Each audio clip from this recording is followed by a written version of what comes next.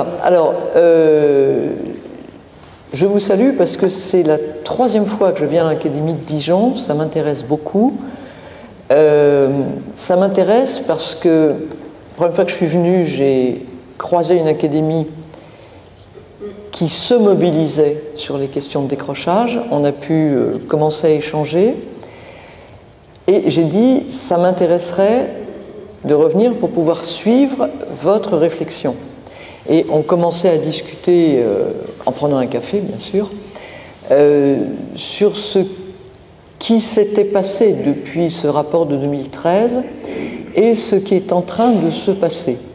Alors, je vais essayer de faire un panorama rapide pour éviter d'enfoncer des portes ouvertes, parce que euh, si vous êtes déjà convaincu de ce que je vais dire, ben, je pourrais passer vite. En même temps, donc, je propose que vous puissiez intervenir à tout moment. Euh, les animateurs m'ont envoyé quatre questions précises. Peut-être en aurez-vous d'autres. Euh, je ne vais pas parler pendant deux heures. Hein. Euh, ce qui m'intéresse, c'est d'entendre aussi votre réflexion là où vous en êtes. Voilà, oui, oui, il y a un micro qui va. Vous levez la main qui va, se promener. Très rapidement, euh, pourquoi ce rapport de 2013 a-t-il été important Pour euh, deux raisons. D'abord parce qu'on a écrit dans le rapport qu'on ne voulait plus écrire des rapports. C'est pas vraiment fréquent à l'inspection générale. D'ailleurs, euh, le titre de ce rapport est très très bizarre. Hein. Euh, quand on, sur l'aide de mission, on, nous dit de travailler sur euh, euh, la prévention du décrochage, enfin il n'y a même pas le mot prévention, on n'attend pas un rapport qui s'appelle Agir pour une pensée. Bon, c'est vraiment très très long comme titre. Et ce qu'on a écrit dans ce rapport, c'est qu'il y en a assez d'écrire des rapports. Bien sûr, on a toujours besoin de savoir des tas de choses sur le décrochage, mais on sait beaucoup de choses. Le on étant beaucoup d'organismes, beaucoup de pays. Nous ne sommes absolument pas les seuls à nous poser les questions que nous nous posons. Donc, arrêtons de, réfléchir et agissons. Nous avons des moyens d'agir. Deuxième chose qui a été nouvelle dans ce rapport, eh c'est la voix que, j'ai portée avec euh, mon collègue Claude Bisson-Vèvre, qui à l'époque était euh, doyen du groupe EVS. C'est la voix de la prévention. C'est-à-dire que, bien sûr, tout ce qui se fait une fois que les élèves sont partis est essentiel. C'est-à-dire les missions, les dispositifs, focales, c'est essentiel. Et vous le savez, ça coûte extrêmement cher, ça demande beaucoup d'énergie, et j'ai simplement voulu renverser la perspective. Et si, pour quelque chose qui coûte beaucoup moins cher, qui ne demande pas moins d'énergie, on faisait en sorte que le plus grand nombre possible de ceux qui partent ne partaient pas. Ça signifie une démarche qui n'est pas facile. Je fais attention à chaque fois que je prononce cette phrase. Ça signifie d'accepter de regarder notre école, de regarder notre métier, non pas avec notre regard qui est parfaitement habitué à ça, puisque nous sommes dans l'institution et que le système nous a fait ce que nous sommes, mais avec les yeux, et vous allez voir, avec les oreilles de l'élève qui, lui, a décidé de partir. Voilà. Ça veut dire que, oui, il y a des causes extérieures au décrochage, on les connaît. La crise économique, grave, les problèmes donc liés à la crise économique, les difficultés des jeunes dans leur famille, les difficultés des jeunes avec leur euh, santé. Ouais, bah, très bien, mais moi je suis professeur et, j'y suis pour rien. Donc ce que j'ai voulu simplement faire, c'est d'essayer de déterminer la part qui nous revient et de savoir sur quoi nous pouvons agir. Et dans cette vision de la prévention, nous nous sommes battus pour faire entendre quelque chose qui était une sorte d'évidence très désagréable à constater. Le décrochage, c'était le lycée professionnel. Et on a fait la démonstration que c'est facile d'aller compter les décrocheurs là où on les envoie. Alors que, pour qui connaît l'enseignement professionnel, nous savons que c'est un lieu extraordinaire de raccrochage. Autrement dit, si on faisait en sorte de ne pas trop les abîmer avant, qu'on les envoie là où ils ne veulent pas aller, d'abord, ça aiderait quand même nos collègues du lycée professionnel, et puis, commençons par apprendre du côté du lycée professionnel toute la professionnalité qui s'est construite là pour en profiter. Alors, depuis 2013, il s'est passé beaucoup de choses. Et nous étions en train de le dire en aparté, c'est assez extraordinaire ce qui s'est passé. D'abord, un chiffre tout simple. Quand on a commencé notre travail, Officiellement, il y avait 140 000 jeunes qui partaient sans diplôme, qui décrochaient. Y en avait-il 140 000 On a toujours pensé qu'il y en avait plutôt 130 000 parce qu'on avait des problèmes pour les identifier, mais le problème, c'est pas ça. C'est que déjà, à l'époque, les pays européens s'étaient engagés à viser une barre que nous avons passé très très vite. Aujourd'hui, on est à 98 000. Et mardi, en réunion des recteurs, la ministre nous disait de viser 80 000 à la rentrée prochaine. Il n'y a pas de miracle là-dedans. Il n'y a pas de miracle, il y a de la volonté. Quand on entend ces chiffres, il y a toujours un effet un peu curieux. Je me souviens, au moment où on a commencé à travailler, de quelqu'un de très haut placé au ministère qui m'avait dit, bon écoutez, on prend le chiffre de 140 000, on le divise par le nombre d'établissements scolaires en France, puisque vous me dites qu'il y en a partout. C'est pas compliqué, ça fait 2,1 euh, par établissement. Est-ce que ça vaut vraiment le coup qu'on fasse tout ce que vous voulez faire pour si peu de gens? Bon, je ne vais pas vous faire à vous la démonstration que euh, ce genre de calcul ne mène pas à grand-chose quand vous, vous savez que euh, dans votre établissement, parce que forcément si dans un établissement il y en a 2,1, ça veut dire qu'il y en a 0 dans X classes. Bien. Ces chiffres, je vais les renverser. Quand la ministre nous dit ayez l'ambition de viser 80 000,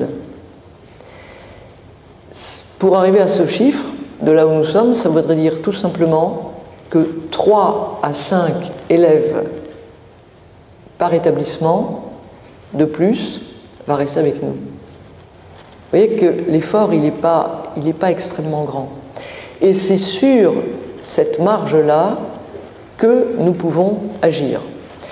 Et c'est ce que je vais reprendre rapidement avec vous. Dans les progrès depuis 2013, D'abord la composition de l'Assemblée que vous constituez. En 2013, par exemple, on ne pouvait pas faire entendre que le décrochage commençait, pouvait commencer dès le début de la scolarité, donc à l'école primaire. Aujourd'hui, c'est un discours qui est entendu. Et vous étiez en train de me dire qu'il y avait énormément d'actions qui touchaient le premier degré. Et pas simplement parce qu'il y a un cycle 3. Ça, c'est un grand progrès. Deuxième progrès, très grand, l'idée, la deuxième idée que nous portions, les alliances éducatives, le décrochage, ce n'est pas l'affaire des CPE. Bien sûr, c'est leur affaire, hein, je ne cherche pas à les exclure. C'est l'affaire de ce que nous avons défini, nous, comme communauté, la communauté éducative. Alors c'est un concept qu'on a, a inventé, hein, parce qu'on en avait besoin. Et vous avez encore une marge de progression, puisque j'ai posé la question en arrivant. J'ai demandé qui vous étiez. Je savais hein, quelle serait, la réponse. J'ai dit, y a-t-il des parents d'élèves Et les organisateurs m'ont dit, mince, on n'y a pas pensé. Voilà ce qui nous reste. Dans une communauté éducative, c'est quoi? C'est l'ensemble des adultes qui, qui interfèrent dans un établissement scolaire. Et dans un établissement scolaire, oui, il y a des enseignants. Oui, il y a l'équipe éducative. Oui, il y a une équipe de direction. Oui, il y a des personnels qui font à manger. Il y a les personnels médicaux sociaux. Il y a des délégués de parents. Il y a des parents. Et je vais parler des parents aujourd'hui parce que nous continuons à avoir une marge de progression à cet endroit. Enfin, ce qui a progressé, on n'y est pour rien, si je puis dire. Euh, enfin, nous qui travaillons sur le décrochage depuis 2013, c'est tout ce qui s'est passé autour et qui va bien finir par faire système. Il y a toute la réflexion engagée autour du climat scolaire. Je vais forcément parler du climat scolaire. Il y a toute la réflexion engagée sur la notation. Derrière la notation, il y a le nouveau brevet, les compétences et le Elson. Je n'entrerai pas dans le Elson, mais oui, le Elson va changer quelque chose. Il y a la notion de parcours scolaire, de parcours, de tous les parcours, le parcours citoyen. Il y a le cycle 3. Et vous savez que le décrochage, c'est facile de l'identifier dans ce qu'on appelle les moments de rupture scolaire, les moments de passage d'un cycle à l'autre. Autrement dit, c'est en train de bouger. Je viens de parler du cycle 3. Votre académie est une des académies qui expérimente une autre passerelle, Bac Pro, BTS. vous voyez, on essaye de faire en sorte que ces passages, qui pour les élèves fragiles sont des moments de, grand danger, s'améliorent. Vous me direz, il y en a un que vous n'avez pas dit, c'est troisième seconde. Ben oui, voilà. Euh, je ne dis pas qu'on arriver au bout. Mais vous voyez comment, peu à peu, tout ça va faire système, et que l'on rentre par l'éducation prioritaire, par le climat scolaire, par le numérique, nous en parlerons, par le décrochage, l'important c'est que l'école française est en train de changer sa perception de l'élève. Et c'est de ça dont je voudrais parler maintenant rapidement. Alors, qu'est-ce que, j'ai pu apporter à travers les, travaux que j'ai faits avec mes collègues?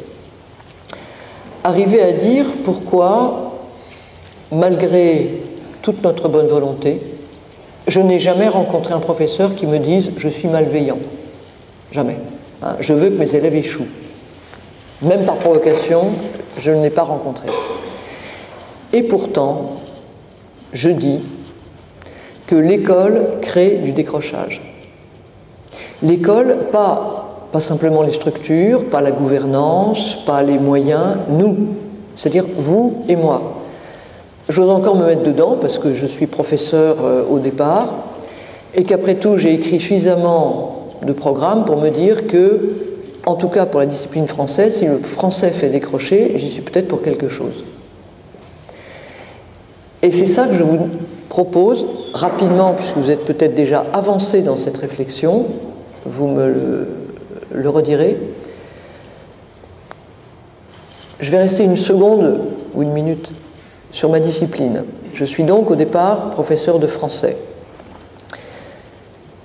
Quand on est professeur de français, on sait, dans la théorie du discours, qu'un discours a toujours au moins deux sens le sens de celui qui dit le discours et le sens de celui qui le reçoit. Alors, quelques instants, on va se mettre à la place de nos élèves qui nous entendent. Nous, quand on est professeur, et ça peut commencer très tôt, vous le savez, je vais prendre l'exemple le plus caricatural, le plus bienveillant, avec des très jeunes enfants. Aujourd'hui, vous allez voir, on va faire quelque chose qui va vous passionner, ça va être très amusant. Et s'il y en a un qui n'est pas passionné et qui ne trouve pas ça amusant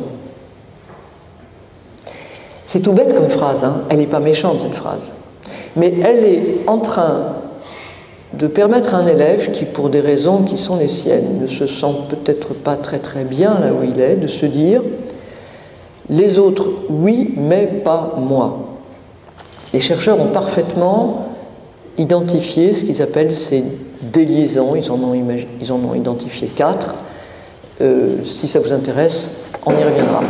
Je prends un autre exemple. Si tu continues comme ça, tu vas finir au LP. On ne dira pas qu'on l'a dit, mais on l'a tous entendu cette phrase. J'ai même entendu il y a très peu de temps un chef d'établissement me dire Oui, oui, non, mais si on leur dit dès le premier trimestre de la troisième qu'ils peuvent passer en seconde générale, ils vont arrêter de travailler. Alors on leur fait peur, on leur dit qu'ils vont aller en LP. Vous voyez comment après, il est facile de dire à un élève, viens avec nous, il y a de la lumière, euh, on va s'occuper de toi, on va construire ton projet avec toi et tu vas aller en LP, tu vas voir, ce sera très bien. Bon, les élèves ne sont pas, idiots. Hein. Je continue d'autres phrases. Aujourd'hui, on va faire des groupes. Oui, on l'a tous dit. Il y a forcément celui qui se dit oui, ben moi, ils peuvent faire tous les groupes qu'ils veulent, je sais dans quel, groupe ils vont me mettre. Hein? Bien. Euh, quand au moins on laisse le groupe ensemble, parce que ça peut être, on va faire des groupes, mais toi tu viendras en plus, plus tard, un autre moment, etc. Bien. Mais on peut continuer comme ça. Hein? Des exemples, j'en ai toute une collection. Je m'arrêterai sur deux parce qu'ils sont terribles et je vous assure qu'ils sont réels. J'oserais dire, nous nous les sommes pris en pleine figure. Le premier, je l'ai entendu dans l'académie de Clermont-Ferrand, j'étais avec mes collègues, et on écoutait des élèves qui étaient en phase de raccrochage. Donc, ils pouvaient nous parler de leur parcours. Je me souviens de cet élève qui n'avait rien d'un gamin difficile de banlieue. On était à Clermont-Ferrand. Je ne dis pas qu'il n'y a pas de banlieue à Clermont-Ferrand, mais on n'était pas dans le 9-3. Hein Bien. Et ce gamin, il était face à nous. On n'oublie pas qu'on est professeur au départ. Et il dit Moi, les professeurs, ils me disaient Tu réussis pas parce que tu travailles pas. Mais on croit en toi, euh, travaille et tu réussiras. Et moi, je savais que je travaillais. Je ne comprenais pas pourquoi je ne réussissais pas, mais j'en ai eu marre qu'on me tape sur la tête. Ce que j'ai entendu moi à ce moment-là, c'est un élève qui me redit des mots de professeur, on croit en toi, on va t'aider à travailler, et qui le traduit par j'en avais marre qu'on me tape sur la tête. C'est dur. C'est dur. Deuxième témoignage des animateurs des, plateformes, de toutes les missions qu'on a rencontrées, qui nous disaient on doit faire attention quand on sent que le raccrochage est en train d'être là, au lieu où on les envoie. Parce que quand on leur dit, bon, bah maintenant, euh, ne serait-ce que euh, on te donne rendez-vous à telle école, tel collège, ils disent, vous m'envoyez n'importe où, mais l'école, je ne veux plus en entendre parler. Qu'est-ce qui peut créer cette espèce de, rejet total? Et j'avais dit que j'en donnerais deux, mais je vais donner le troisième. Des collègues qui étaient pas loin de cette académie, des collègues IG qui faisaient une mission sur les troisièmes prépa pro. Et un de mes collègues qui revient, il n'était pas habitué à ça, euh, IG de STI, et qui me dit Écoute Anne, oui, je viens d'entendre ce que tu nous dis.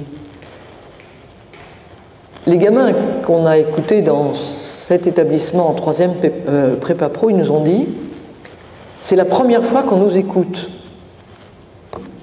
Et on se dit pourquoi ce gamin, ça fait dix ans qu'il est avec nous, pourquoi il dit c'est la première fois qu'on m'écoute? Et mon collègue, il avait entendu pire. L'an dernier, j'avais déjà monsieur ou madame Intel. Et maintenant, maintenant c'est plus le même. Il était dans la classe normale, il était passé en prépa pro. C'est quoi la différence? Pour un gamin, c'est pas compréhensible. Bien. Donc, voilà. Ce que je veux dire, c'est que nous avons des discours qui sont entendus par des élèves. Il y a tous ceux sur lesquels ça glisse comme l'eau sur les plumes d'un canard. Et tant mieux. Et puis, il y a celui sur les plumes duquel ça coule pas du tout. Et c'est celui-là qu'il faut identifier. Alors, je vais passer sur l'identification, parce que je ne sais pas où vous en êtes. Si c'est une des questions que vous posez, on y reviendra. Quelle réponse pédagogique, je vais parler des réponses pédagogiques, quelle réponse pédagogique peut-on apporter?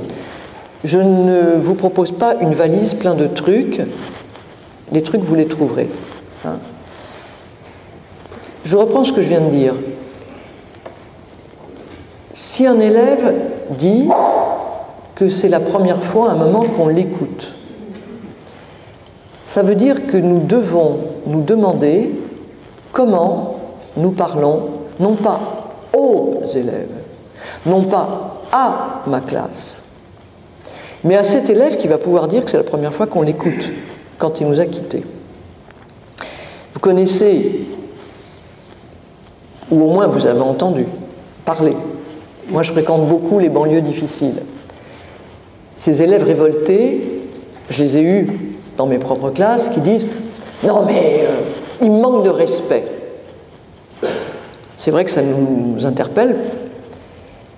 Eh bien, allons au bout de l'interpellation. Que veut dire l'élève quand il dit Il me manque de respect ça vaut peut-être le coup qu'on en discute. Parce que le professeur, bien sûr, il n'a absolument pas le sentiment d'avoir manqué de respect à cet élève. Bien. Ça n'empêche que l'élève, il dit quelque chose. Et maintenant, je vais parler de l'élève qui n'est jamais tout seul.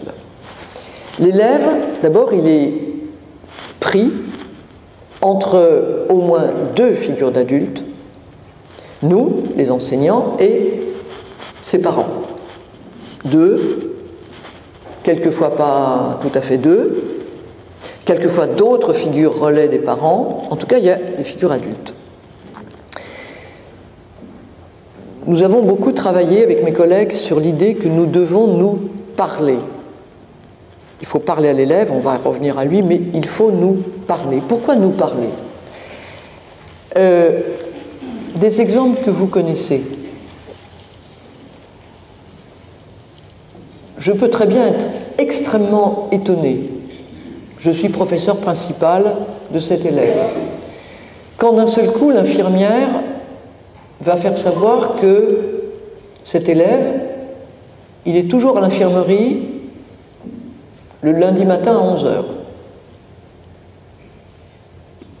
Les infirmières le savent, les infirmières le voient. Quand le CPE va dire il est toujours absent tel jour. Peut-être que moi je ne le sais pas, parce que parce que j'ai pas cours le jour ou la matinée où l'élève est absent, et qu'après tout l'élève il n'est pas absent dans mon cours. Vous savez bien, vous savez bien, peut-être vous l'avez vécu d'ailleurs. Hein euh, celui-là, il ne peut pas me voir. C'est peut-être pas moi le prof que cet élève ne peut pas voir, mais il a un vrai problème avec le professeur d'à côté. Et si je ne le sais pas, je ne peux rien y faire. Donc il faut qu'on commence à accepter de se parler entre équipe éducative et enseignants, mais tous les enseignants d'une classe, pour savoir ce que signifie ce que l'équipe éducative nous dit. Alors c'est l'élève qui est absent, c'est l'élève qu'on passe son temps à mettre dehors, je sais on n'a pas le droit, mais voilà. on le constate. Je ne parle pas des exclusions longues. Je parle de l'élève qui, pour telle et telle et telle raison, se retrouve en dehors de la classe. Nous allons y revenir. Est-ce qu'on le sait? Parce que s'il s'agit de, déceler des signes de décrochage, peut-être qu'on se parle.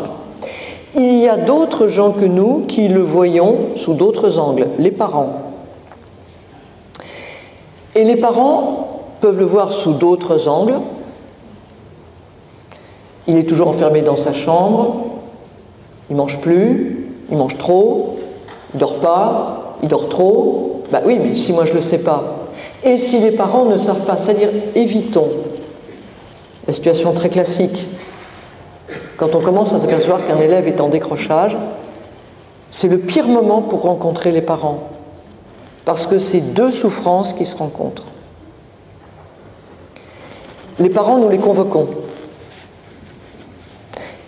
Et les parents vont venir le plus souvent très remontés contre nous. Ils vont venir nous dire, vous ne savez pas vous occuper de mon gamin, vous le rendez malheureux. Il y a Madame une telle qui ne le supporte pas et qui le punit tout le temps. Il y a, il y a, il y a, il y a, il y a. Et nous, on va réagir en disant, vous n'avez pas vérifié que votre gamin, n'est pas en classe le lundi matin euh, à 11h. Entre parenthèses, j'espère que ça n'est arrivé à personne d'entre vous. Mais moi, j'ai pas mal d'exemples autour de moi. Je fréquente un milieu très enseignement, vous vous en doutez. Hein Il n'y a pas que les parents qui ne s'occupent pas de leurs enfants. Quand l'un de nous est convoqué dans l'établissement de son enfant et apprend que ça fait trois semaines que le gamin ne vient pas en classe, je vais vous dire entre nous, on n'a pas l'air fin. Parce qu'on ne l'a pas vu.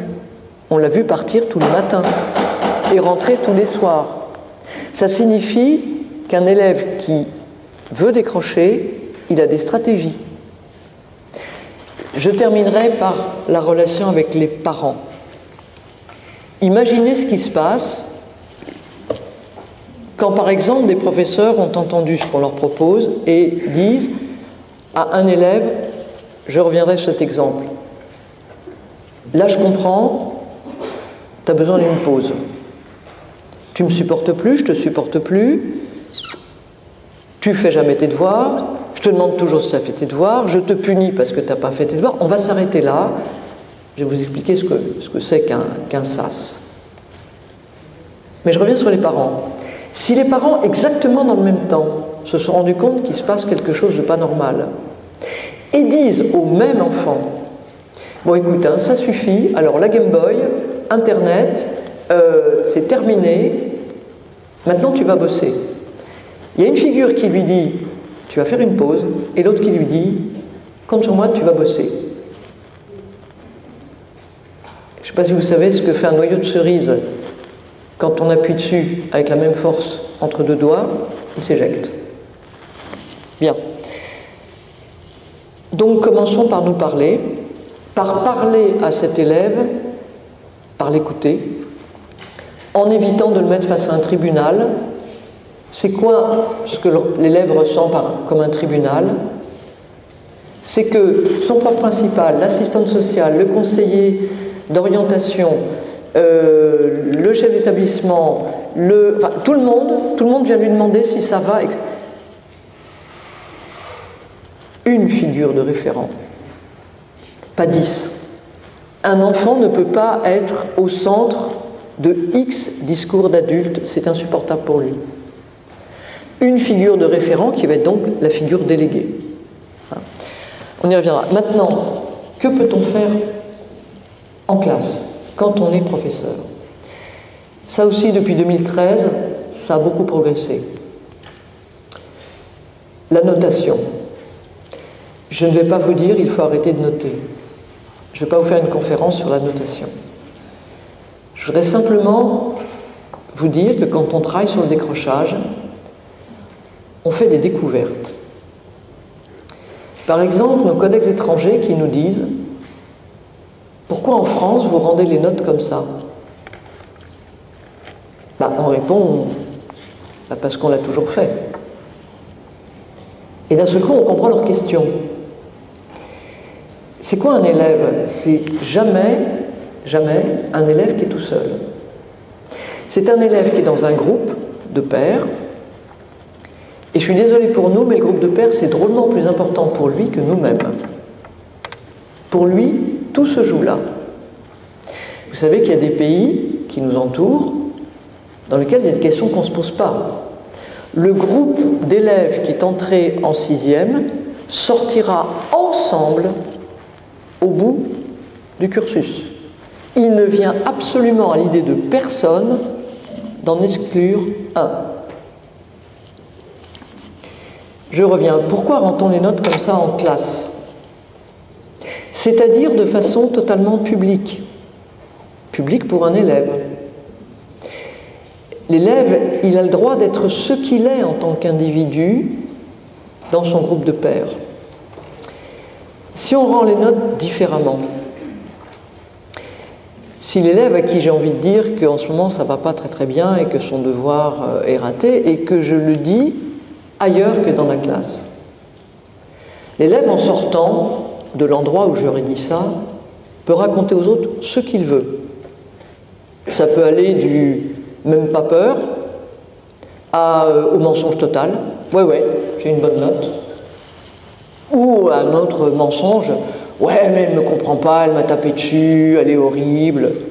C'est son problème. C'est son problème vis-à-vis du groupe. Je ne dis pas qu'il ne faut pas être conscient des régulations à l'intérieur du groupe.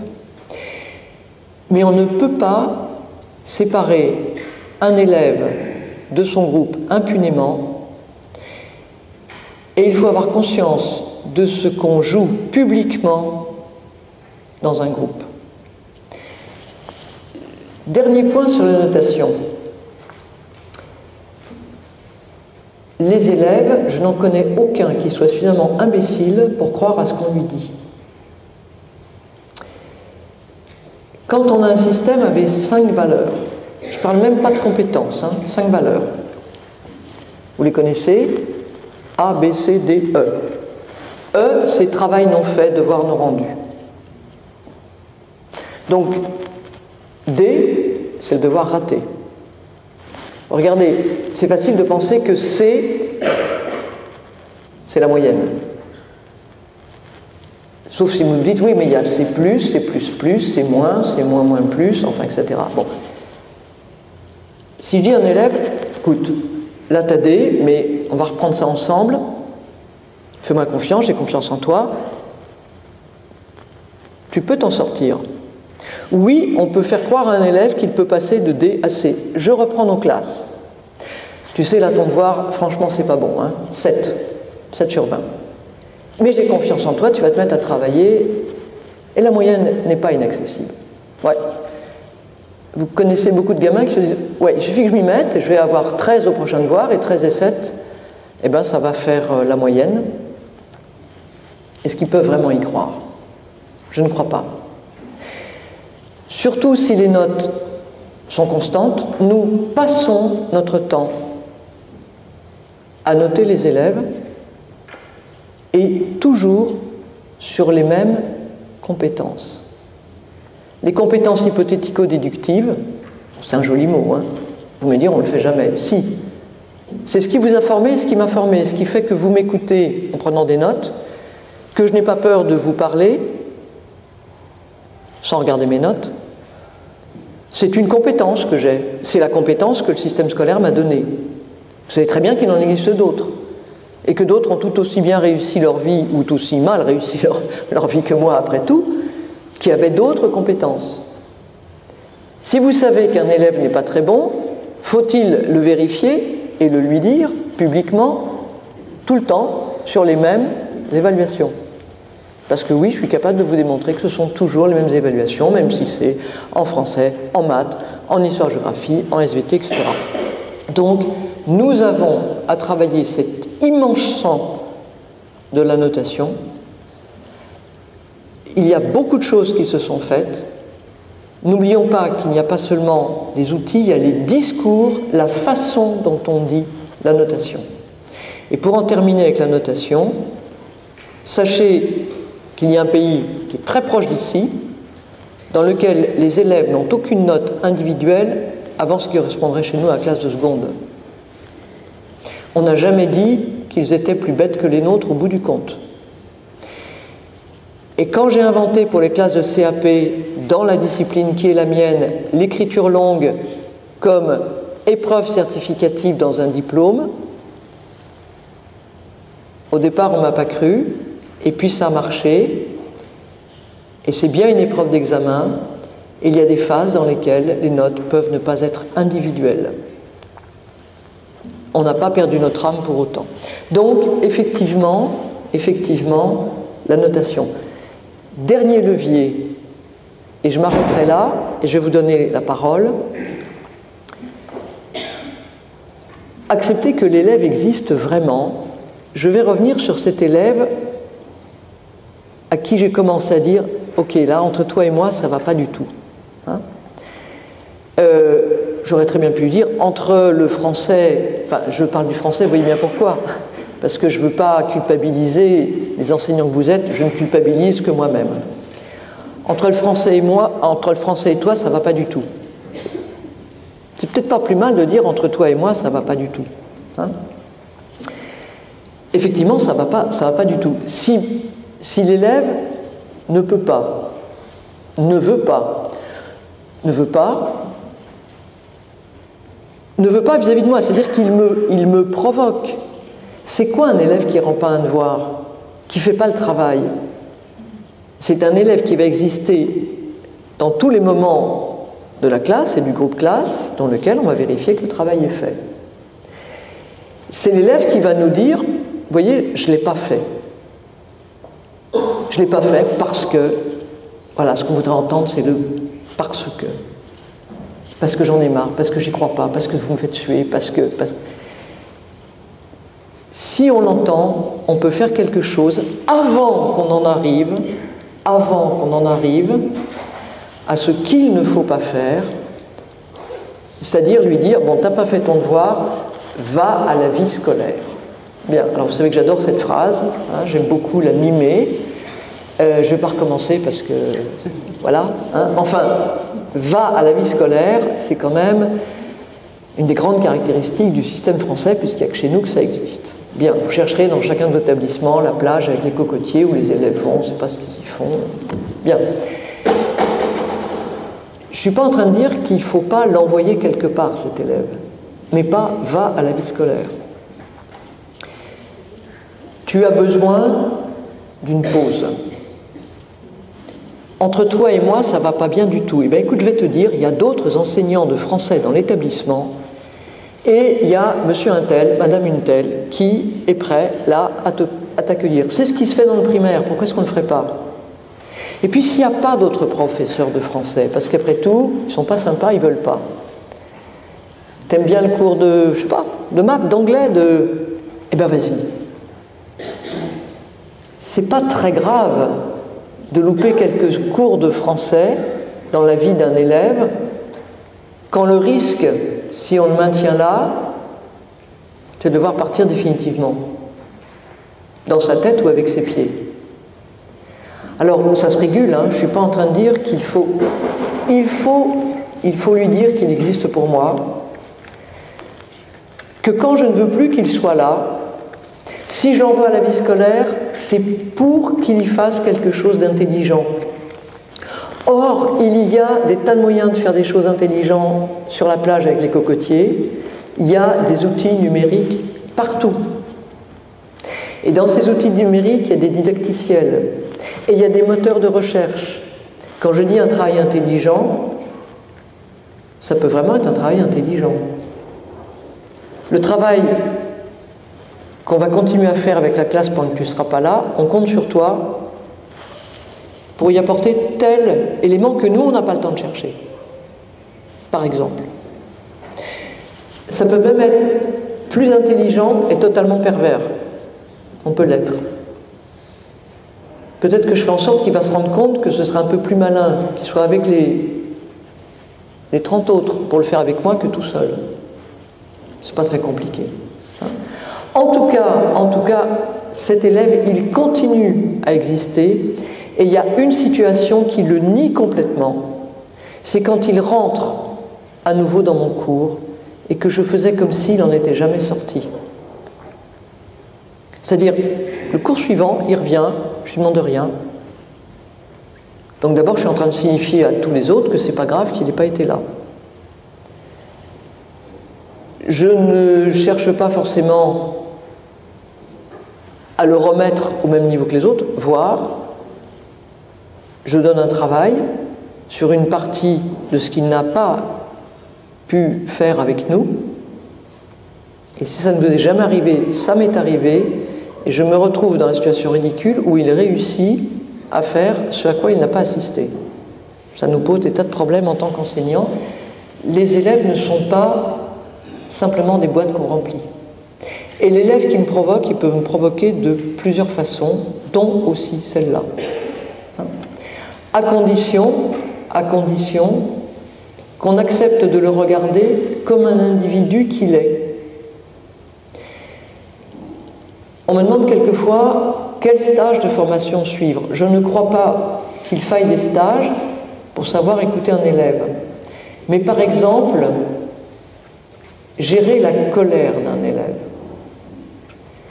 Si vous, vous devez peut-être connaître euh, le site de l'IFE, sur lequel c'est un site qui est ouvert au, au départ, c'est un site qui était fait pour les néo-titulaires. Vous savez, il y a des.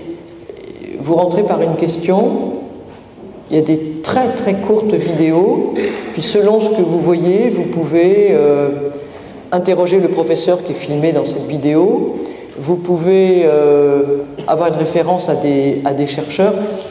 Il y a une vidéo qui est extrêmement frappante, parce qu'il y a une caméra, comme celle qui me filme là, qui est mise à l'intérieur de la classe, la classe n'est pas encore rentrée. Au point que quand on regarde la vidéo, on croit que l'image ne fonctionne pas parce qu'on entend le bruit et puis la caméra, il ne se passe rien puisque la classe est vide. Et puis on voit les élèves rentrer. Et il y a un élève qui rentre, il est hors de lui, absolument hors de lui. Et on voit comment le professeur... On ne peut pas commencer un cours avec un élève qui est hors de lui. Puis en plus, ça a des répercussions sur le groupe. On ne peut pas non plus lui faire une séance psy. Hein. Installe-toi, décontracte-toi. Enfin, on a un groupe à, gérer. On voit comment. La, question, c'est gérer l'entrée dans la classe. Mais un professeur ne peut pas faire comme s'il n'entendait pas la colère de cet élève, qui certes n'a pas commencé dans son cours, elle a commencé dans le couloir, il s'est passé quelque chose. Bien. Donc, nous pouvons agir à condition d'agir tous ensemble et en cohérence. Voilà, je vais m'arrêter là pour vous donner la parole. Vous vois réagir, quelquefois être choqué par ce que je dis. Alors c'est le moment, profitez-en.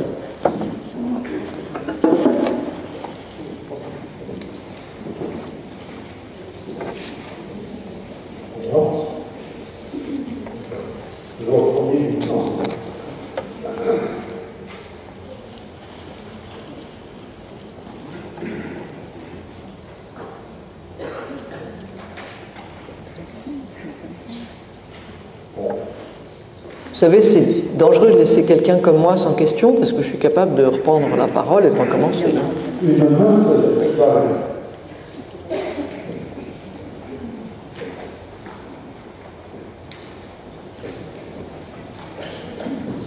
D'abord, bonjour. Euh, je voulais savoir en ce qui concerne la notation, vous A, B, C, D, E moi, je trouve ça très intéressant, mais ne pensez pas que les élèves, à un moment, vont associer une lettre à une note Bien sûr. Et que de ce fait, ça va être toujours un petit peu euh, la peur d'avoir le E. Si, si le contrat est clair, si E, c'est travail non rendu, il n'a pas à avoir peur d'avoir E. il est responsable du fait qu'il a E. C'est-à-dire que le E, ce sera, euh, bah, tu n'as pas rendu le travail, tu n'as pas fait, ça ne correspond pas au zéro, mais c'est un petit peu tout comme. Voilà. Et du coup, ensuite, pour rentrer, parce que nous, on a un ce système qui fonctionne avec les moyennes générales, etc., les appréciations, comment est-ce qu'on peut faire pour que ça devienne justement euh, une note de référence, enfin, le E soit alors, à Alors, d'abord, je voudrais pas que vous sortiez d'ici en disant il faut faire ABCDE. Vous savez qu'aujourd'hui, il y a des tas de solutions Euh, les enseignants de collège le savent bien en ce moment parce que ça fleurit. Il y a des ceintures de couleurs. Il y a... Tout est bon. Tout est bon pour créer du dialogue autour de la notation. Bien. Quand je dis tout est bon, alors notre système a besoin de notes. Il a besoin de notes, il a besoin de moyennes, il y en aura. Hein? Bien. Le problème est de savoir pourquoi moi, dans l'instant où je suis, dans ce moment de mon cours et dans ce moment de cette progression, j'aurais besoin de savoir s'il a 12,75 ou 13. Voilà. Bien. Et puis quand même, vous savez bien que essayez d'expliquer à un collègue qui n'est pas français ce que signifie avoir 10 au bac, avoir le bac. Surtout en ce moment, ça porte sur le bac S. Je ne sais pas si vous connaissez le problème, hein, mais avoir 10 euh, au bac S avec euh, une bonne note en philo, une bonne note en anglais, une bonne note dans l'autre langue, et puis 9 euh, en maths et 8 en physique, il y a des endroits où ça coince un peu. Enfin, c'est comme ça. Bon, ça c'est très français. Le problème de la notation, c'est d'abord faut-il une note? À quoi me sert et à quoi lui sert l'acte de noter? Vous savez bien qu'il y a des élèves que la note va terroriser. Ça fait du bien de ne pas avoir peur. Mais je dois vous renvoyer des remarques qu'on entend en ce moment. Il y a une réflexion, est-ce qu'on va en voie professionnelle abandonner euh, le CCF, enfin, etc il n'y a pas qu'en voie professionnelle, et on continue à entendre, attendez, euh, il ne faut pas abandonner ça parce que ça leur fait du bien d'avoir peur. Demandez-vous combien de fois vous avez pu apprendre quand vous aviez peur. Hein, bien. Euh, ça vaut la peine d'avoir quelquefois des coups de pied dans le derrière métaphoriques. Hein, bon, peur, je ne crois pas. Bien. Dans la note, il y a plein de choses. Quand euh, on fait faire un travail à un élève et qu'on affiche son travail sur un mur de la classe, c'est une façon de noter. Voilà. Ce sera difficile de faire une moyenne entre zéro en dictée et le fait qu'on a affiché ton texte sur le mur de la classe. C'est ça les questions qu'il faut se poser, qu'il faut poser avec les élèves, parce qu'en fait, par exemple, quand on travaille avec les décrocheurs en voie de raccrochage, il nous dit qu'ils ont besoin de notes. Alors du coup, ça les rassure. Hein. Parce qu'on leur a tellement dit qu'ils n'étaient pas bons, que le système n'était pas fait pour eux, qu'ils nous disent, attendez, on ne veut pas de l'heure, hein. donnez-nous des vraies notes. Il faut l'entendre. Là, je parle d'élèves qui en ont tout à fait besoin. Il y a des élèves très angoissés qui ont besoin de notes. Le problème, je ne suis pas en train de vouloir réformer le système scolaire, mais de réfléchir à ce qui se passe avec un élève, avec celui-là.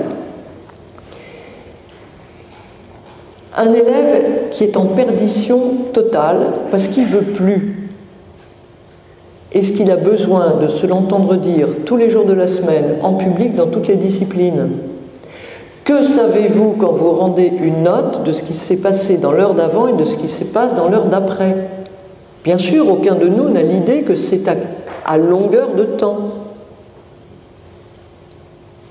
Du coup, ça m'amène à un propos très rétrograde. En 68, on a arrêté les compositions parce que ça faisait peur aux élèves. Ouais, et bien au moins ils avaient peur une seule fois par trimestre. Voilà.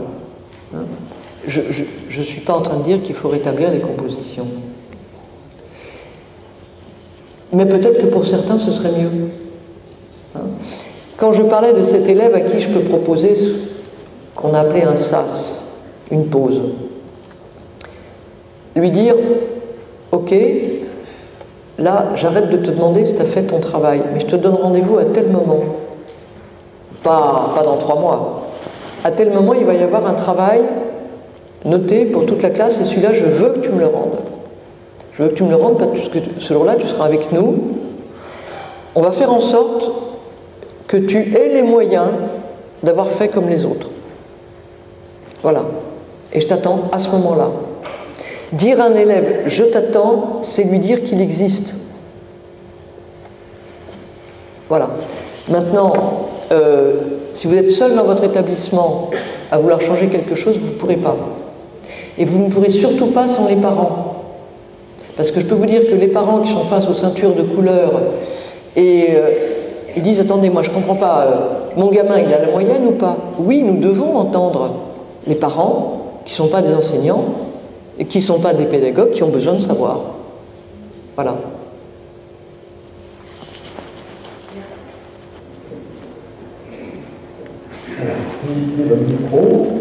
Euh, à côté de vous, vous êtes passé juste non non en haut en haut en haut. Bonjour, euh, justement je voudrais dire, euh, discours euh, auquel j'adhère totalement. Moi je travaille en lycée technologique, dans lycée professionnel, donc là dans chaque dans chaque corps, dans chaque établissement. Et je, justement, que dire à mes collègues qui, face à un discours comme, celui-là, vont dire nous on n'est pas là pour être psychologue, on est là euh, pour faire cours. Moi, je suis là pour faire de l'anglais, des maths. Euh, donc, moi, je suis aussi professeur principal en seconde professionnel. Euh, que, que, dire à ce genre de, de, de collègues qui qu'il n'y a pas de espace euh, Je sais que la bienveillance, ça ne s'enseigne pas. Qu'est-ce qu'on peut répondre? Comment on fait quand on est seul ou très peu dans un établissement à, à penser comme ça? Alors, d'abord, ils ont raison de dire qu'ils ne sont pas psychologues. Hein, et la première chose à faire, c'est de respecter les professionnalités qui nous entourent, respecter la parentalité. On n'est pas parent, hein, on ne mélange pas tout. Enfin, on n'est pas parent de l'élève, donc on n'est pas le parent, on est le professeur. On n'est sûrement pas psychologue, parce que je crois qu'il n'y aurait rien de plus dangereux pour l'élève si on lui donne le sentiment qu'on est aussi psy, le jour où on, lui dira qu'il faut qu'il aille voir le psychologue, il dira ben, ça sert à quoi Puisque. Donc, voilà. Et puis, le psychologue, c'est son métier et c'est pas le nôtre. Hein bien. Euh, maintenant, j'aimerais bien qu'un professeur me dise ce qu'il vous dit à vous. C'est-à-dire que. Je suis désolé, on est professeur, on a signé un jour au bon un papier, et il y a, comme dans tous les métiers, quelque chose qui s'appelle le référentiel. Bon, je ne vais pas vous le réciter, dans ce référentiel, il y a euh, être capable de réguler des apprentissages, être attentif aux élèves. Moi, je veux bien qu'un professeur soit prêt à me démontrer qu'il peut être professeur de français sans écouter ses élèves et en faisant le programme jusqu'au bout, tant pis si les élèves ne sont pas là. Je dirais qu'il n'est pas professeur. Il se fait plaisir. C'est pas tout à fait la même chose. Je ne suis pas sûr qu'il se fasse plaisir. En tout cas, alors, je ne suis pas ministre, hein. bien. Euh, aujourd'hui, mes collègues disent que euh, nous devons porter la voix de, la déontologie. Nous l'avons fait à l'inspection générale. Nous nous sommes donné une charte de déontologie. Euh, mes collègues disent qu'il faut engager avec les enseignants sur l'éthique, l'éthique professionnelle. Personnellement, je ne suis pas d'accord, parce que je récuse, mais c'est une position personnelle, que s'occuper des élèves décrocheurs et vouloir être bienveillant, ce n'est pas un choix personnel, c'est un geste de métier. J'ai choisi d'être professeur, ça fait partie de mon métier. Voilà. Je ne dis pas que c'est facile parce qu'on n'a pas été formé pour ça.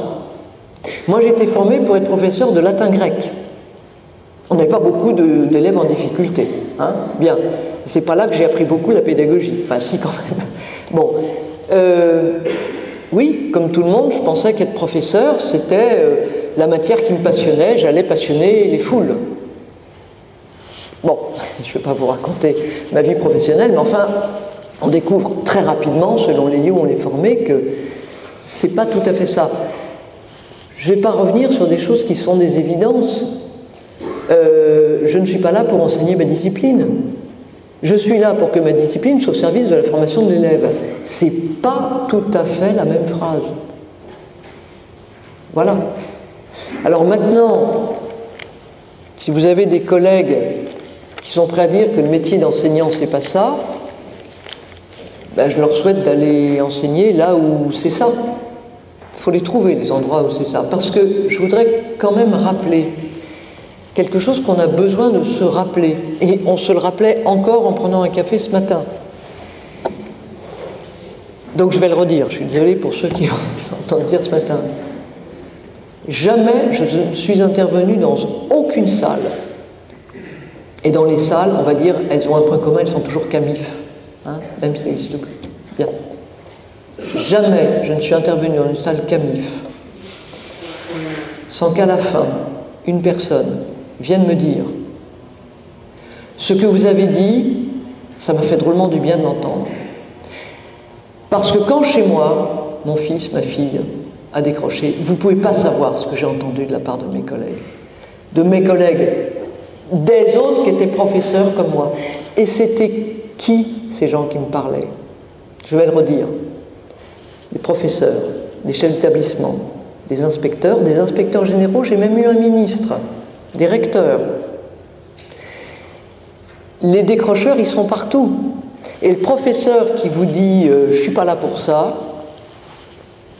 je lui répondrai j'espère que ça t'arrivera jamais. Voilà.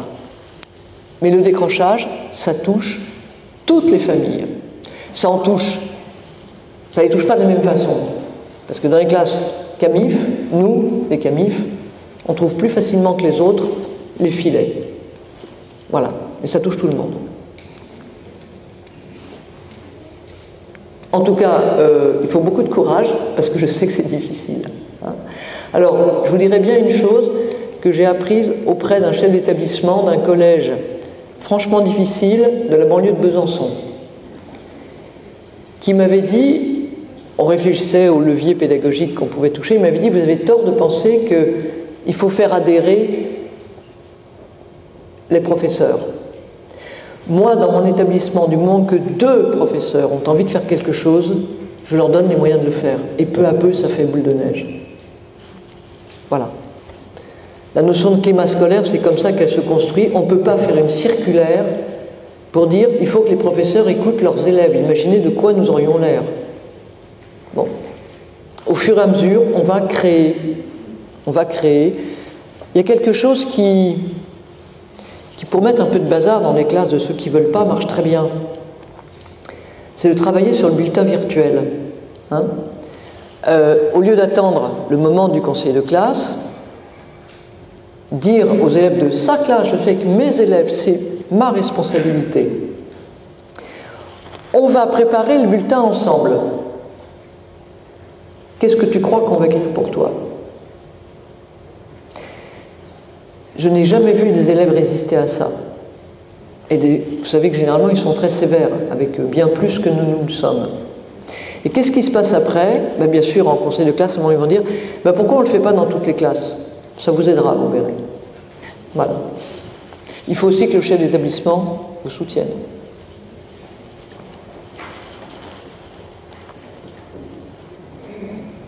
Bonjour.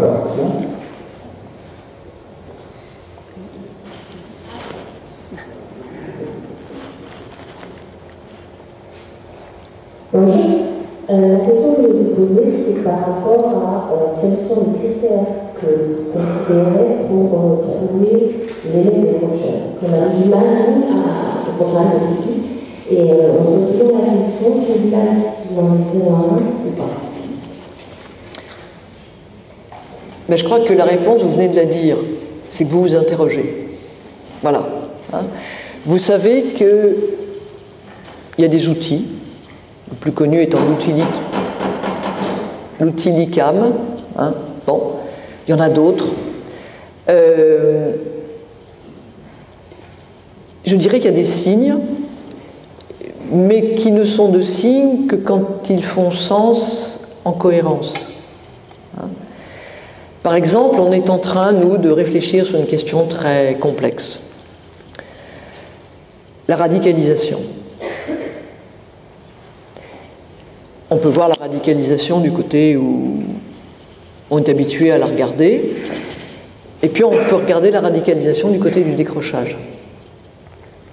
C'est-à-dire que quand on est avec les spécialistes de la radicalisation et qu'on travaille avec des, parents qui nous disent euh, un jour j'ai découvert que c'est frappant. Hein. Un jour, j'ai découvert que. Et qui sont en droit de dire Mais moi, j'ai pas vu, mais les profs non plus n'ont pas vu.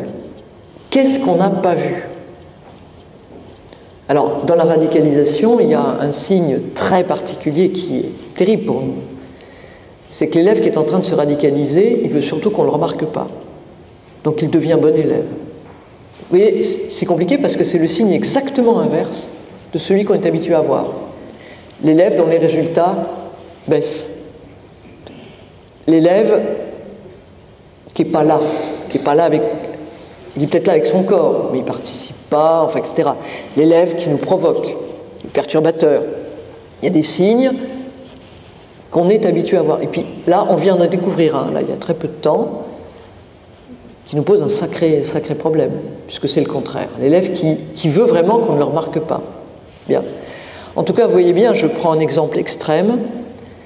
Dans la radicalisation, il y a les signes que l'on peut voir à la maison, il y a les signes que l'on peut voir en classe, en tant que professeur, il y a les signes que le groupe classe peut voir.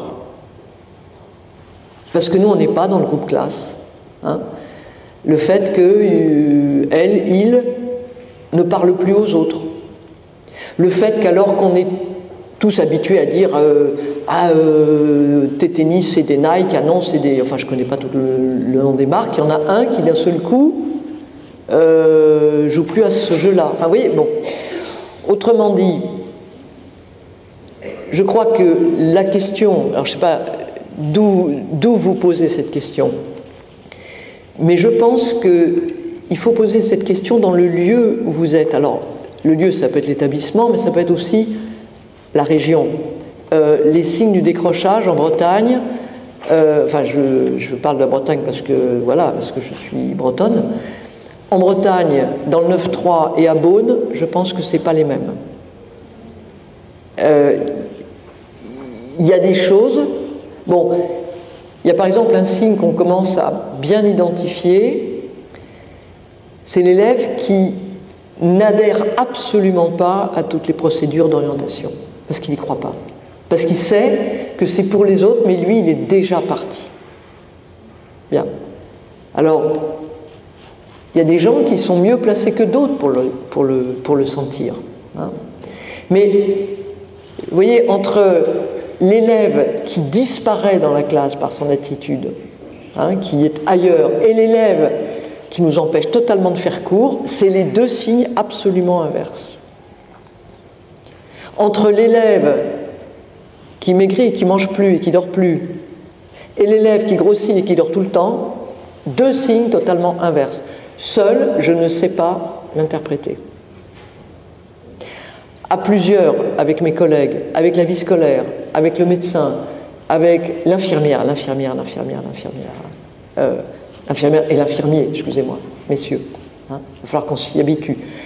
Avec l'infirmière,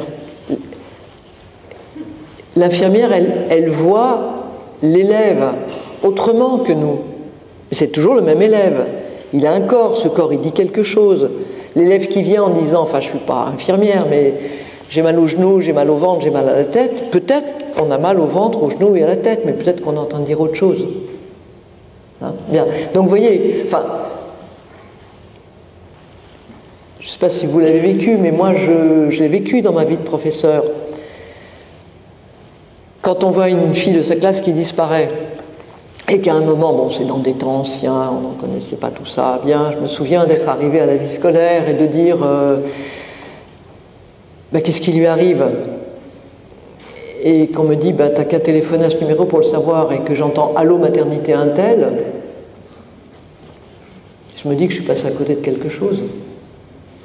Voilà, j'étais comme tout le monde, elle était face à moi. et euh, eh ben, j'ai pas vu qu'elle était enceinte. Et j'apprends qu'elle accouche. C'est une des causes de décrochage. Voilà. Donc vous voyez, euh, j'ai ma classe, mes élèves, mon établissement, j'ai surtout ma classe. Hein, euh, très très vite, vous le savez, quand on est enseignant, on sait comment réagit un groupe classe. Euh, ça fait un tout. D'ailleurs, on dit la classe réagit bien, la classe participe. Être attentif à celui qui. Voilà, c'est tout le problème. Et là, je crois qu'il y a, alors là vraiment, il y a des gens qui peuvent nous aider parce qu'il y a des formations. Quand je disais euh, gérer la colère d'un élève, gérer son agressivité, euh, que, dit au système scolaire un élève qui, le rejette brutalement, qui, qui injurie, qui, je sais pas, euh, qui, enfin bon, je vais pas vous raconter toutes les, toutes les anomalies du comportement d'élèves que l'on peut, que l'on peut lister. Enfin, toute la psychanalyse nous dit que, c'est du discours tout ça. Hein. Et j'ai cité euh, les chercheurs, j'ai travaillé avec une chercheuse de, de Lille qui s'appelle Valérie Melin, c'est elle qui a écrit sur les quatre déliaisons en rappelant que ce n'est pas un parcours linéaire, hein, mais la première déliaison, celle qui se passe très tôt entre l'école et l'enfant. Hein. Ça va vous intéresser, moi ça ne m'intéresse pas, les autres pas moi. Deuxième déliaison, avec la figure du professeur, qui pour lui est une figure collective. Hein. Les professeurs, ils me disent qu'ils m'aiment bien que les professeurs nous disent il ne faut pas avoir peur des notes, il n'y aura pas d'interrogation surprise. Oui, ben, il y en a un qui a donné une interrogation surprise. C'est bête, c'est pas grave. Sauf si c'est grave pour un, qui cesse d'avoir confiance. Ou des liaisons entre la figure de l'adulte et la figure du professeur. Des liaisons avec le groupe classe. C'est le plus dramatique pour un élève qui est un adolescent en construction. Et on va finir, et là on sera vraiment dans le psy, des liaisons avec soi-même. Des liaisons avec soi-même, c'est le moment où un élève dit Là, ici, je suis nul, je suis pas bon en ceci, en ceci, on passe son temps à me le dire. Mais là, ailleurs, là, je suis bon en foot, à la Game Boy, peut-être que je sais ce qu'il faut faire avec euh, un scooter qu'on trouve sur la route, qu'on démonte et qu'on emporte et qu'on revend. J'ai des compétences, alors je suis incompétent et compétent, je suis quelqu'un, je suis personne. Si vous êtes fragile, vous savez que ce que je suis en train de décrire, c'est le début de la schizophrénie. Bien. Valérie Melin a poursuivi ses études et elle m'a demandé de relire un livre dans lequel elle parle du corps de l'élève décrocheur. Puisqu'elle m'a demandé de relire cette épreuve, je lui ai dit attention, le discours est tellement psychanalytique que je ne suis pas sûr que le, milieu enseignant soit prêt à l'entendre comme ça. Parce qu'elle était tellement dans ce qu'elle écrivait qu'elle elle voyait, n'est plus conscience. on n'est pas psy, mais on peut apprendre des choses de ça et les signes sont signifiants, tous les signes. Voilà. Alors, vous savez qu'il y a des gens plus avancés que nous dans la, dans la reconnaissance de ces signes. Hein en particulier les Canadiens et les Belges. Euh, il faut qu'on s'en empare et surtout il faut que l'on nourrisse la réflexion de tout le monde. C'est-à-dire que ce que je viens de vous dire sur la radicalisation, il y a quelque temps je ne savais pas, vous je ne sais pas si vous le savez, vous allez y penser. Et puis vous, vous, vous allez apporter aussi à d'autres d'autres repérages. Je ne connais, je connais mal le repérage d'un élève dans le premier, dans le premier degré. Ce n'est pas celui que je connais le mieux. Je connais beaucoup plus les adolescents difficiles. Enfin, difficiles en ce sens euh, qui nous rendent la vie difficile. Et pourtant, je sais qu'on peut déceler des signes en primaire. Alors, ça ne vous avance pas beaucoup comme réponse. Mais effectivement, il n'y a pas de réponse toute faite.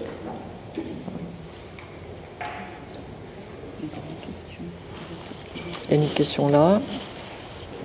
Euh, bonjour, je, suis très intéressée par la l'évaluation, euh, c'est dans un établissement scolaire, a un collège, on a trois, niveaux sans.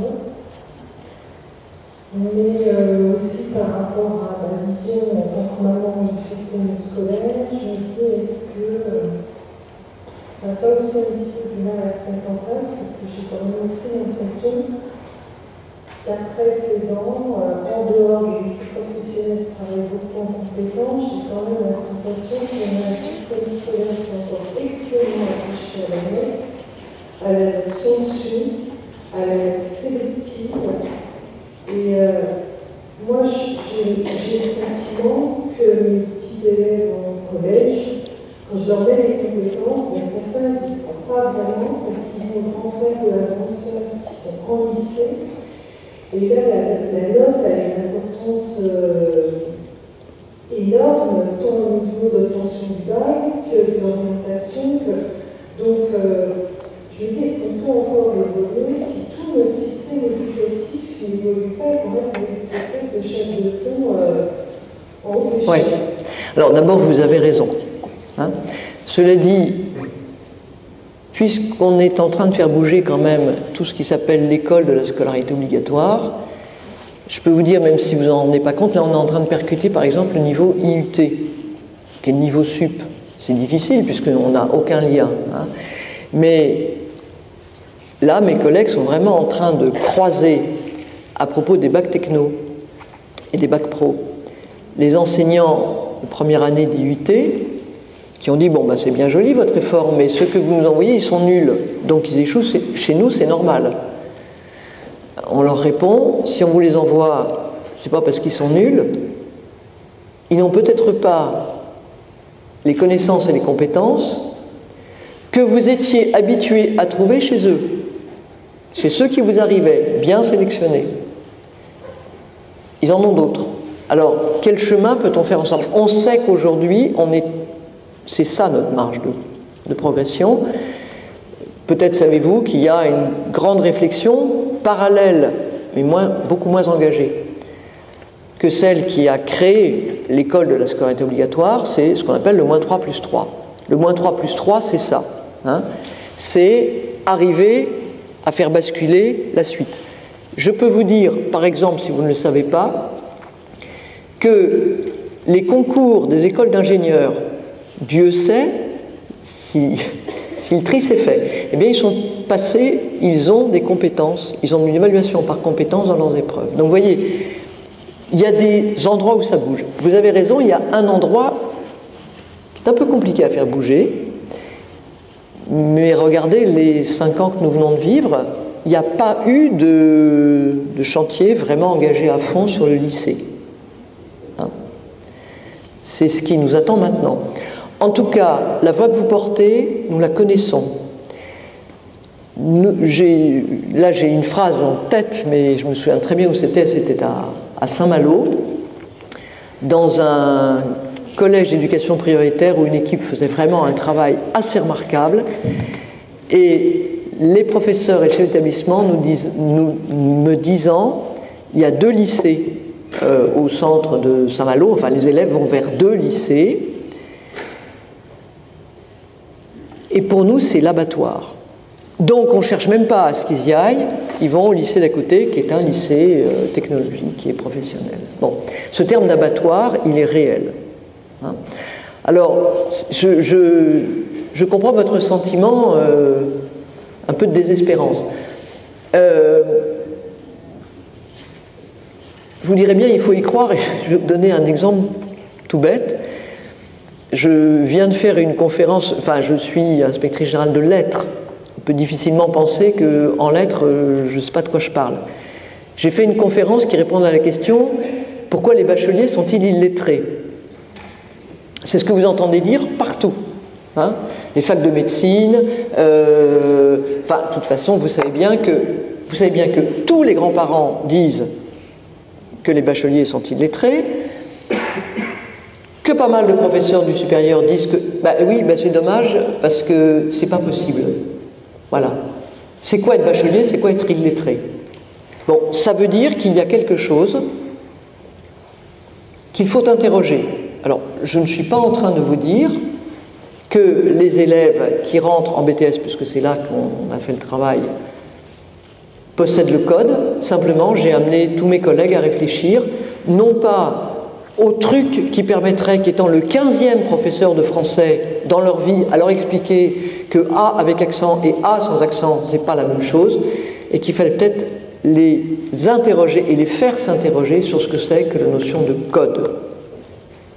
Et à chaque fois que j'ai convaincu des élèves qu'ils manquaient de respect, qu'ils manquaient de respect à la personne qu'ils ont en face d'eux, avec le A sans accent et le A avec accent, eh ben, ça a fonctionné. Ils ne sont pas complètement idiots.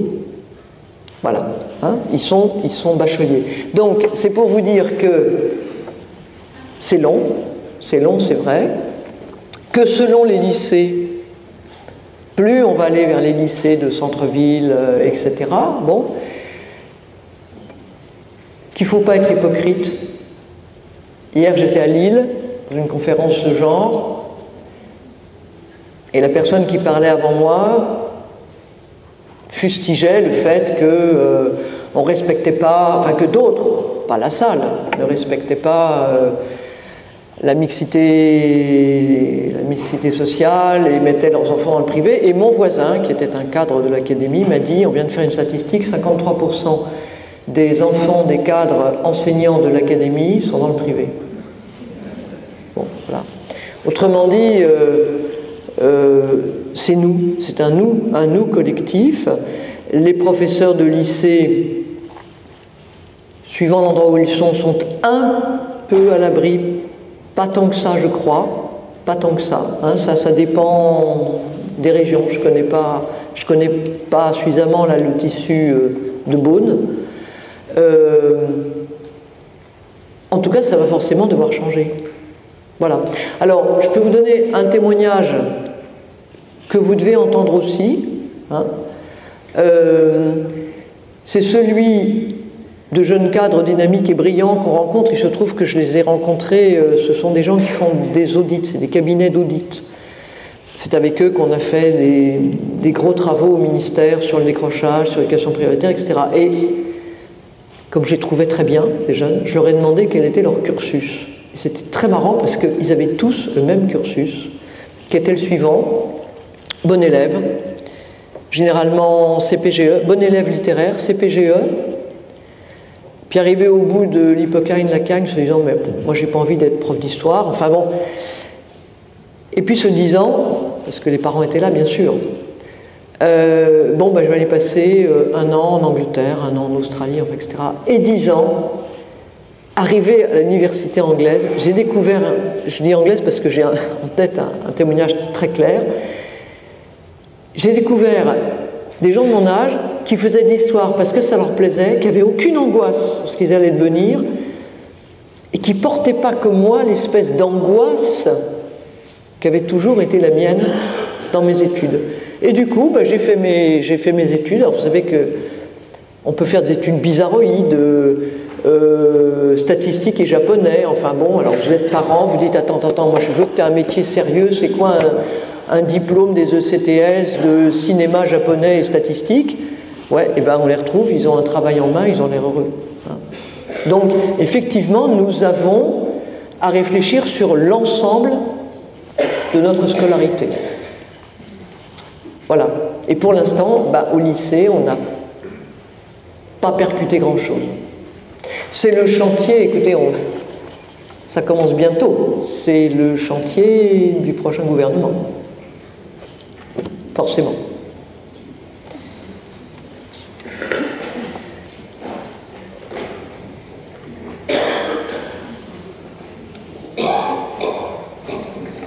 Bonjour. Euh, Excuse-moi, j'ai. Vous avez parlé dans vos propos liminaires euh, du facteur de décrochage. Euh, suis beaucoup resté sur le facteur de décrochage lié aux notes, euh, lié euh, à l'école. à l'estime de soi à l'école. Et en fait, vous n'avez pas dû parler du décrochage qui est lié aux, aux problèmes familiaux. Et la question que je voudrais vous poser, c'est à partir du moment où on a repéré un enfant, on a mobilisé les acteurs médicaux sociaux, le décrochage est très difficile en fait à évaluer, euh, parce que la prise en charge, elle dépasse complètement. Et euh, moi, ce que je voudrais savoir, c'est comment on peut, euh, bien avant ça, aider un enfant à ne pas être victime d'un décrochage dont il n'est pas responsable. Oui. Alors, je n'ai pas parlé des facteurs externes du décrochage simplement parce que parce qu'on en parle beaucoup et qu'on ne parle pas de ce qu'on fait nous. Hein. donc c'est un, un choix dans le discours que je tiens, un choix qui est le mien depuis longtemps, c'est-à-dire que quand j'ai commencé à travailler en éducation prioritaire, j'ai dit tant que je n'aurais pas répondu à la question pourquoi un élève dont le père est chômeur ou dont le père est alcoolique et la mère fait des ménages n'est-il pas bon en maths? Ça se voyait sur les statistiques et je voulais comprendre. C'est quoi le problème de l'apprentissage des maths? Qui fait que des facteurs externes font qu'on n'apprend pas en maths Voilà. Je crois que ce que je veux dire, c'est que l'école ne peut pas simplement dire les causes sont à l'extérieur. Maintenant, ce que vous dites est évident. Un élève peut avoir de telles urgences dans sa vie que, franchement, le problème de la note de maths ou du devoir de français c'est Peanuts. Et il a raison. Il a raison. Hein.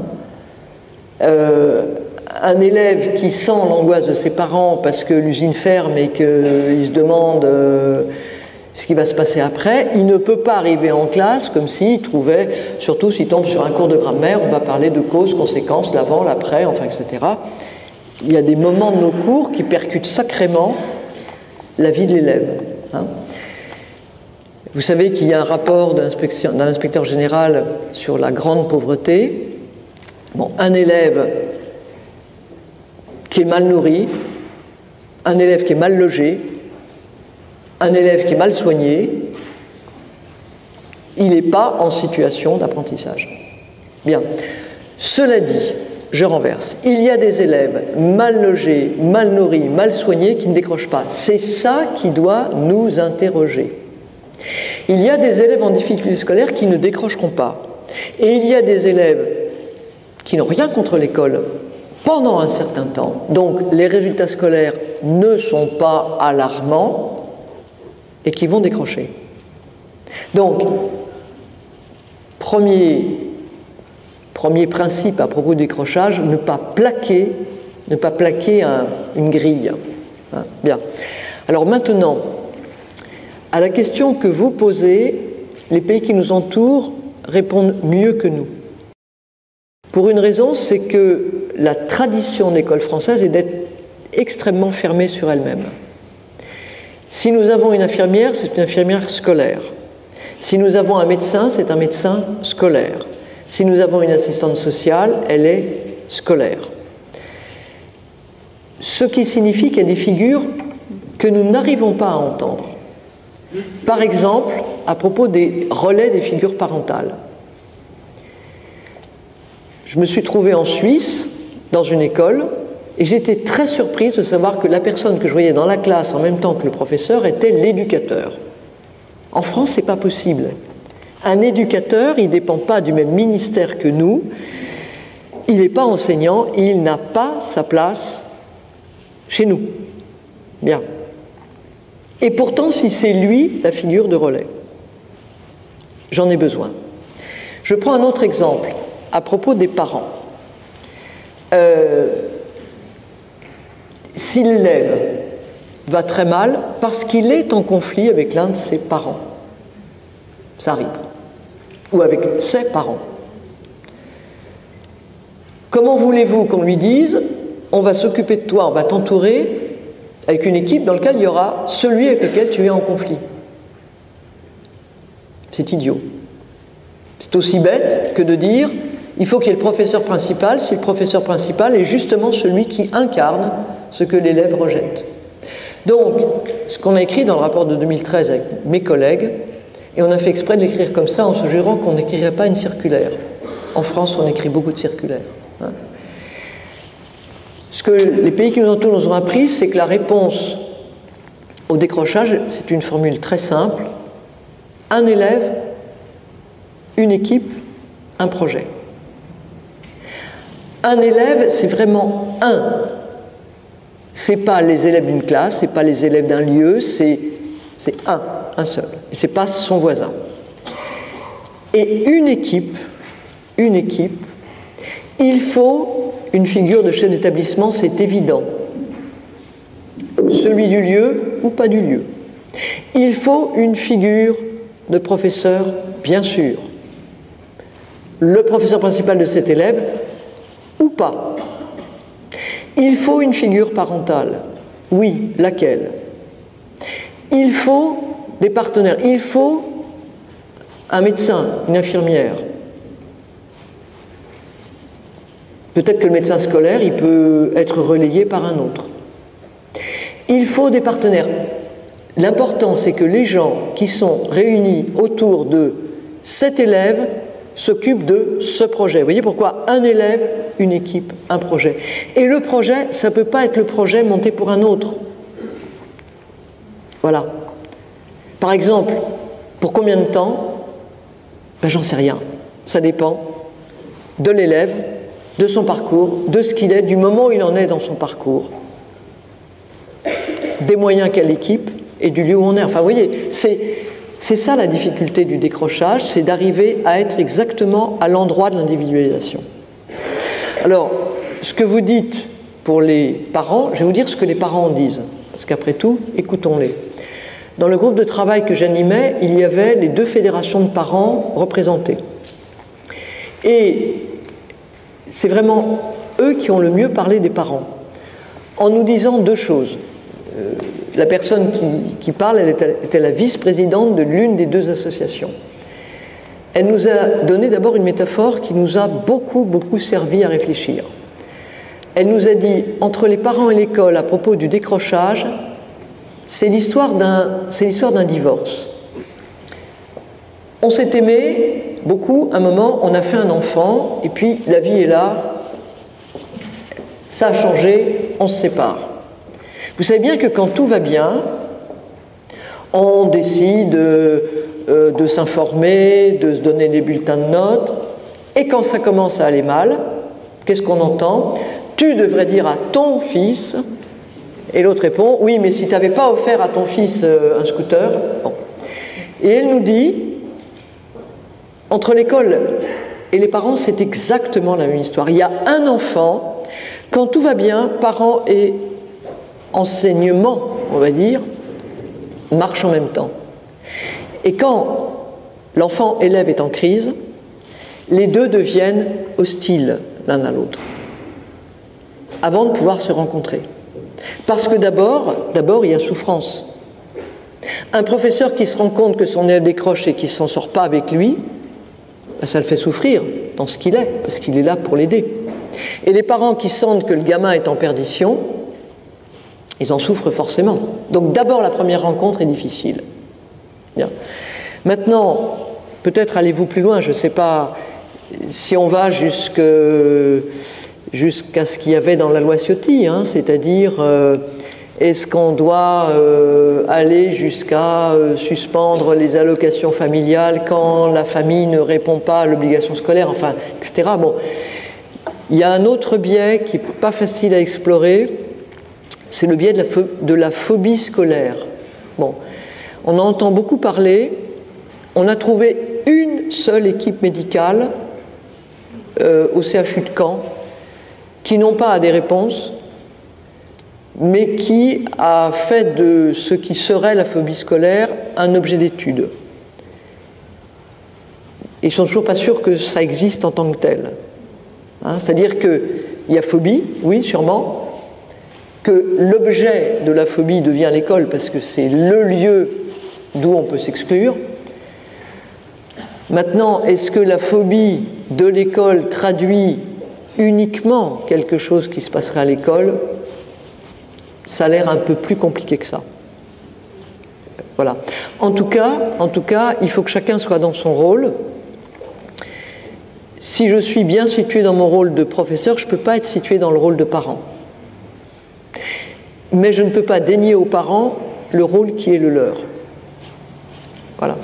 Et donc, il est important de se rencontrer, et c'est sans doute un des moments où on a besoin de se rencontrer, pas toujours en présence de l'élève. Or, réfléchissez à ce qu'on fait le plus souvent. Hein. Les réunions parents-professeurs, c'est une triangulation. Ce n'est pas forcément toujours la bonne solution pour le décrocheur. Il faut qu'on y pense, c'est-à-dire que le décrochage nous force à accepter de désautomatiser ce qu'on est habitué à, à faire comme ça. Voilà. En tout cas, on sait une chose à propos des parents, c'est que le décrochage monte au fur et à mesure que les parents ne sont plus dans l'institution scolaire. Hein, c'est-à-dire que les parents sont à l'école primaire parce que c'est très naturel. On amène l'enfant, euh, l'heure des mamans, le goûter des mamans, enfin, etc. Rupture quand on arrive en sixième. Plus on va monter, plus cette rupture va être grande et plus aussi le décrochage devient prégnant. Donc, on ne peut pas penser qu'il n'y ait pas quelque chose à travailler. Je ne sais, pas, sais pas où est le micro.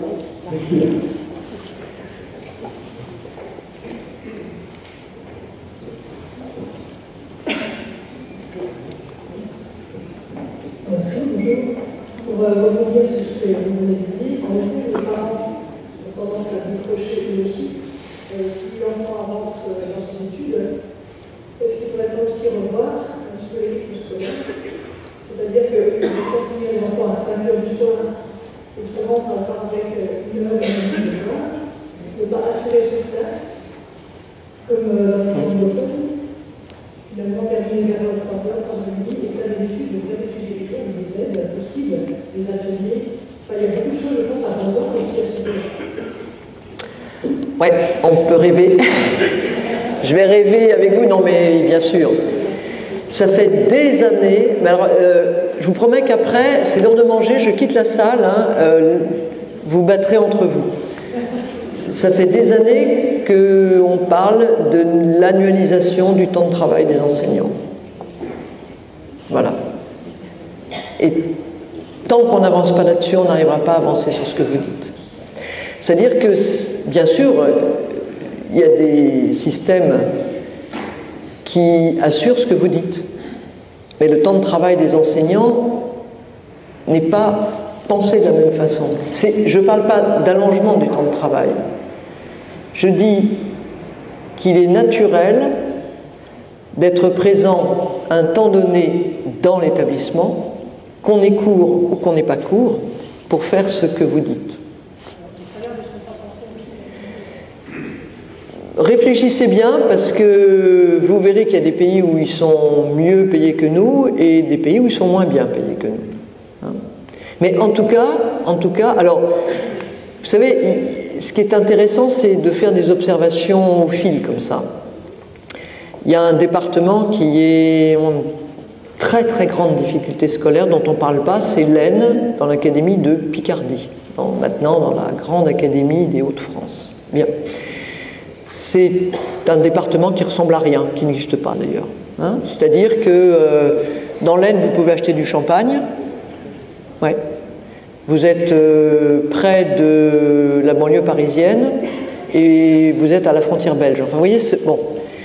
Et il y a un chef d'établissement qui nous a dit un jour, je me suis aperçu que j'ai un collège, il est situé complètement là-haut, là. C'est celui qui est complètement haut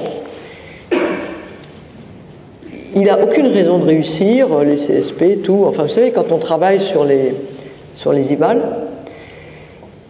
et il réussit. Alors j'essaie de comprendre ce qu'il faisait de particulier, jusqu'au moment où il a compris, une chose toute simple, les professeurs qui y sont, vous doutez qu'ils y sont nommés jeunes, parce qu'après ils sont bons. Quand on est jeune, on n'est pas très riche. Puis quand on est jeune, souvent on a d'autres habitudes. Puis ils habitent la ville, ils vont là-haut. Donc ils sont organisés en covoiturage. Ben oui, c'est pas bête. Et puis, euh, ben, ils y vont pour la première heure de celui qui accourt euh, au début. Parce qu'ils y vont ensemble. Et puis ils repartent à la dernière heure où, et absolument naturellement, a dit principal qui nous a dit en témoignage quand j'ai été nommé dans l'établissement, que j'ai vu l'établissement où c'était, j'ai pleuré et je me suis dit que je partais tout de suite. C'est vraiment un endroit difficile. Bon. Et il avait découvert quoi? L'inspecteur d'académie qui, nous y a emmenés. Ben, forcément, quand vous êtes dans l'établissement et que vous n'avez rien à faire et que vous êtes professeur, et eh ben vous allez avoir des tas d'idées. Voilà. C'est bête hein, ce que je vous raconte, mais voilà, c'est une réalité. Et sur ce plan-là, je vais revenir à la question précédente. Je suis désolé, mais les pires établissements, c'est l'établissement de, centre-ville. Quand vous habitez Paris, enfin, quand vous habitez Paris par profession, c'est mon cas, et que vous voyez les professeurs parisiens comme les autres, mais euh, quitter le collège ou le lycée à un moment qui est, où y rentrer d'ailleurs, hein, euh, tout à fait décalé, et rentrer dans le métro, vous savez qu'il n'y a aucun sentiment d'appartenance à une communauté éducative. Et dans nos travaux, on a beaucoup insisté sur le fait de développer le sentiment d'appartenance à une communauté éducative pour les élèves, pour lutter contre le décrochage. Comment voulez-vous développer le sentiment d'appartenance à une communauté éducative si la communauté elle-même ne l'a pas? Alors effectivement, il y a des pistes de progression, ça fait, je suis désolé de le dire, hein, ça fait hurler les syndicats. On nous répond, comme vous venez de le faire, payez-nous plus, j'ai pas les moyens. Donc, enfin, j'ai pas les moyens euh, parce que c'est pas moi qui en décide. Hein. Voilà. Euh, voilà, peut-être que, peut-être que l'avenir on va être mieux payé. En tout cas, en tout cas, à propos du décrochage, j'avais dit que je parlerais du numérique. Il y a une piste énorme de progression, c'est l'articulation avec le travail personnel de l'élève. Parce que nous, à l'inspection générale, pendant deux ans, on essayait de faire tout ce qu'on pouvait on avait un rapport à rendre sur le travail personnel de l'élève. Partout où on allait, on disait on va venir réfléchir avec vous sur le travail personnel de l'élève. Le travail personnel de l'élève, c'est. Dans 100% des cas, on nous répondait devoir à la maison. Et le travail personnel de l'élève, ça veut dire le travail personnel de l'élève. C'est-à-dire que quand un élève travaille personnellement, c'est le travail personnel de l'élève. Autrement dit, c'est avec nous dans les classes. Vous avez entendu parler de la classe inversée. C'est une des réponses qu'on commence à travailler. C'est quoi la, la classe inversée? C'est dire ce qui est essentiel pour un élève ce n'est pas le cours que je lui apporte. La connaissance est partout maintenant. Internet est partout. Vous savez que sur Internet, vous allez, vous allez, en apprendre plus sur le décrochage que ce que je vous raconte. Parce qu'il y aura tout. Et moi, je ne suis pas tout. Bien. Mais l'important dans l'apprentissage, c'est la façon dont les apprentissages se construisent. C'est la façon dont on va structurer tout ça. Et ça, ça ne peut pas se faire à la maison tout seul. Ça se fait dans la classe. La classe inversée, c'est pas autre chose que ça. Tous les élèves arrivent avec ce qu'ils ont récupéré n'importe où, on ne veut pas le savoir, sur n'importe quelle question, et en classe, on va construire la notion, la compétence, le savoir-faire. Voilà. Vous voyez, c'est, une autre des réponses, c'est-à-dire l'occupation du temps scolaire. Vous savez bien les paradoxes de notre système, hein, je le rappelle, nous sommes le pays qui dépense le moins pour son niveau primaire, le plus pour son niveau lycée. Y aurait-il un paradoxe? Ça doit être possible. Nous sommes le pays dans lequel les élèves ont le temps scolaire le plus mal distribué. Il y a peut-être un rapport avec le décrochage. Et pourtant, on n'arrive pas à le faire bouger. C'est qu'il doit y avoir une sacrée résistance. Alors bienvenue au club si vous voulez lutter avec nous. Mais je vous rappelle que l'invention des études dirigées, C'est Bayrou en, 2000, euh, 1994, je crois. C'était déjà l'idée, déjà.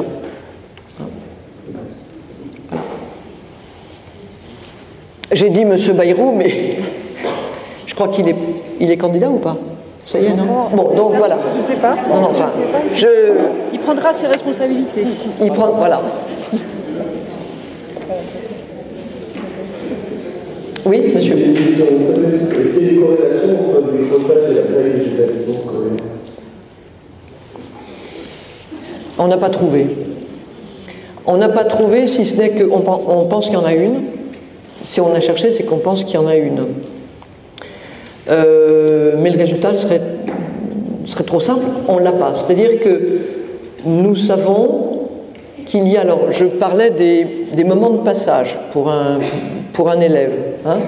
Le moment où pour un élève, la figure de l'enseignant, c'est le maître,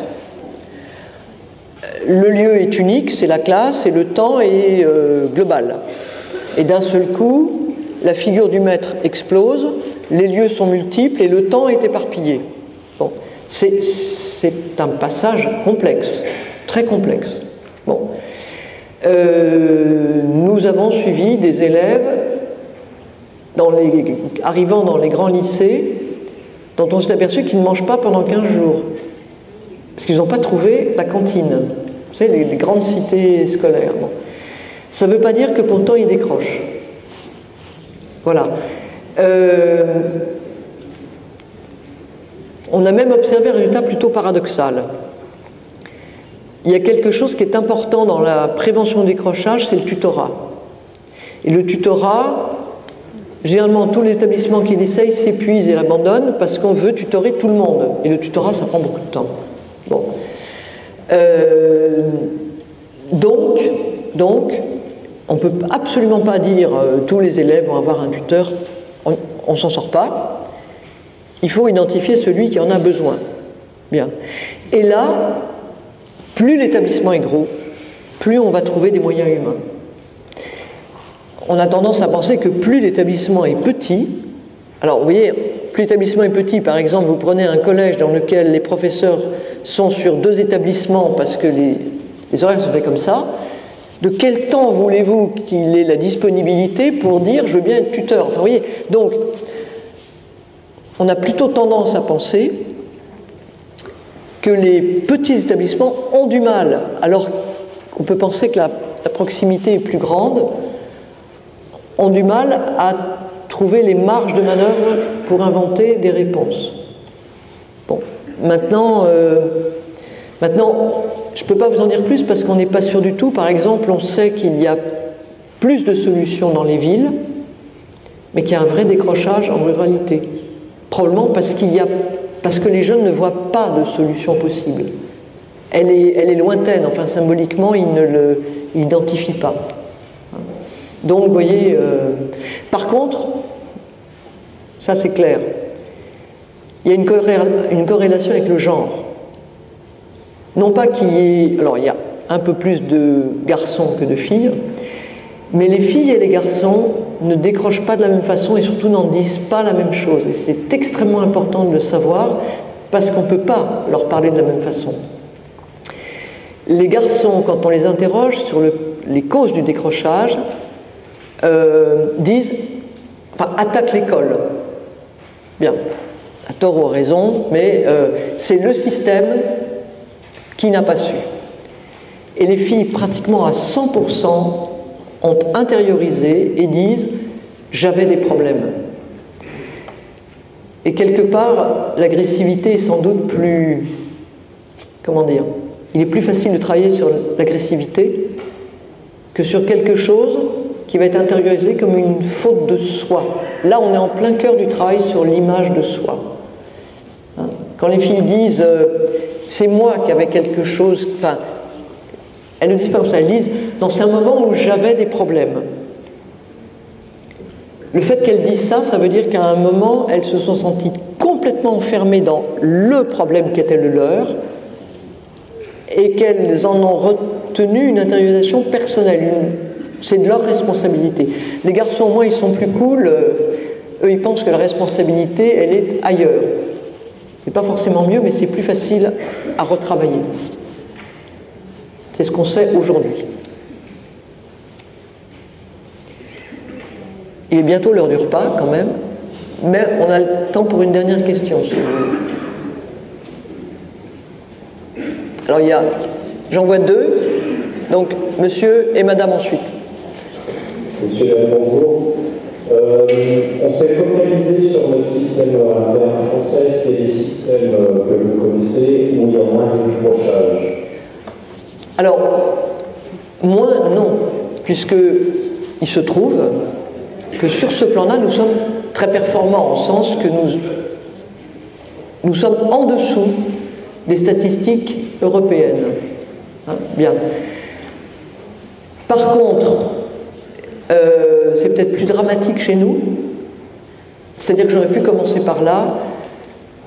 Le décrochage pour l'élève qui le subit et pour sa famille par derrière est un drame. C'est un drame social, mais c'est un drame personnel. Je dirais que la grande différence, c'est la souplesse des systèmes qui nous entourent par rapport à nous. Par exemple, on a suivi une expérimentation aux Pays-Bas qui marche vraiment très très bien, euh, qui a consisté à délocaliser le lieu d'enseignement.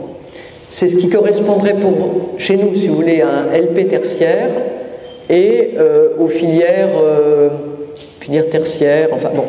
Et ce ne sont pas les élèves qui vont en stage ailleurs ou, et qui reviennent à l'établissement, ce sont les cours qui se font dans le lieu. Là, il se trouvait que c'était une grande surface commerciale, c'est-à-dire que c'est, l'école qui s'est déportée dans le lieu où finalement va se faire le raccrochage, a priori par la partie professionnelle. On a vu que ça avait énormément d'impact, puisqu'au départ, c'est un rejet de l'école. Donc, si vous voulez, il y a, il y a un biais là, c'est très compliqué à monter en France. Voilà. Bon.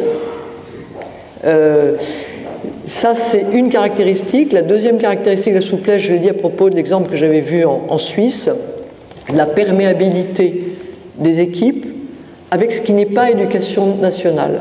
Chez nous, c'est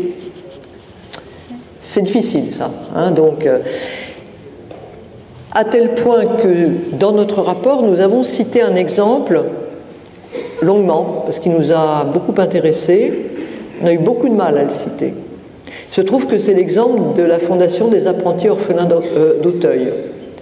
Je nous dit, mais enfin, est-ce que vous vous rendez compte que vous citez du privé? Bah oui, je suis désolé, mais voilà. Donc vous voyez, ça par exemple, vous savez qu'autour de nous, il y, a des, systèmes qui s'occupent du décrochage. Il y a l'armée, avec les épides. Il y a les apprentis orphelins d'Auteuil. Il y a les maisons familiales. Généralement, ça n'a pas bonne presse chez nous. Vous voyez cette espèce de compartimentation du système français. Et c'est là qu'on dit un élève, un projet, une équipe, le projet qui est fait pour cet élève. Si la solution pour lui, c'est l'apprentissage, si la solution, c'est les piles, si la solution, c'est le micro-lycée, si...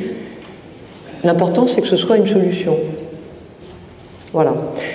Par contre, nos micro-lycées ont développé ont développé un vrai savoir-faire.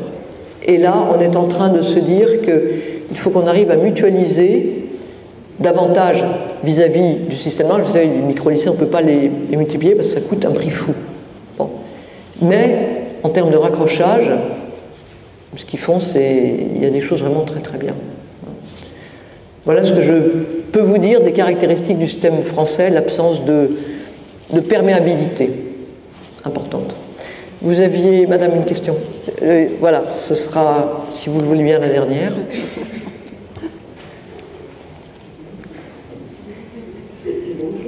Euh, moi, je voulais savoir simplement si orienter plutôt les enfants ne permettrait pas justement d'enrayer euh, le décrochage. Alors, orienter, je vais vous interroger deux minutes en grammaire. Nous sommes le seul pays dans lequel il y a ceux qui parlent à la voix pronominale, je m'oriente vers, et il y a ceux qui parlent à la voix passive. J'ai été orienté en LP. Voilà, c'est-à-dire que ce qui est compliqué dans notre système, ce qui heurte terriblement nos, collègues étrangers, hein, c'est l'idée que l'orientation se fait par décision scolaire. C'est-à-dire que ce n'est pas le choix de l'élève, il est orienté. Hein, c'est la forme passive. D'ailleurs, vous savez bien que quand un élève réussit bien, on lui demande extrêmement tard ce qu'il veut faire. L'exemple type étant les CPGE, où on s'oriente finalement, même pas deux ans après le bac, c'est au terme bien souvent de l'école d'ingénieur qu'on a faite. Bien. Plus un élève est en difficulté par rapport au système scolaire, plus on va lui demander de s'orienter tôt. Bien. Cela dit, de même qu'il est facile de dire que le décrochage c'est le LP, il n'y a rien de plus simple que de dire les fauteurs du décrochage sont les conseillers d'orientation. C'est idiot. Hein. les conseillers d'orientation font un très beau travail avec la grande majorité des élèves. Le problème, c'est toujours celui qui. Alors, vous dites orienter plutôt, c'est une, c'est une tentative et une tentation. On en, entend parler à nouveau hein. dans toutes les campagnes électorales. On parle de pouvoir permettre à des élèves plus jeunes, 14 ans, euh, et on a déjà des SAS, hein, la troisième prépa pro, enfin, etc. Bon, on va rentrer en campagne électorale, je n'ai pas à me prononcer sur des problèmes de campagne électorale. En tout cas, en tout cas je voudrais dire, c'est mon point de vue, euh, arrêtons de faire comme si on n'entendait pas la souffrance des élèves. C'est-à-dire que, au nom de quel principe égalitaire, alors ça peut être l'apprentissage, mais pour nous dégager d'une discussion épineuse, je donne un autre exemple. Vous vous souvenez du moment terrible, enfin vous savez, il y a deux moments qui sont toujours terribles pour l'éducation nationale et la France, c'est quand on dit qu'on va arrêter la dictée au brevet.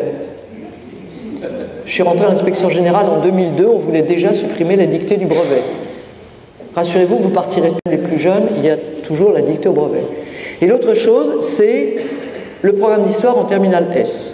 Vous vous rappelez Tout le monde est monté au créneau. Bon, alors, si on est en train de raisonner, oui, bien sûr, c'est évident que tout le monde doit faire de la philo, de l'histoire, de langue, pourquoi pas trois, enfin, etc.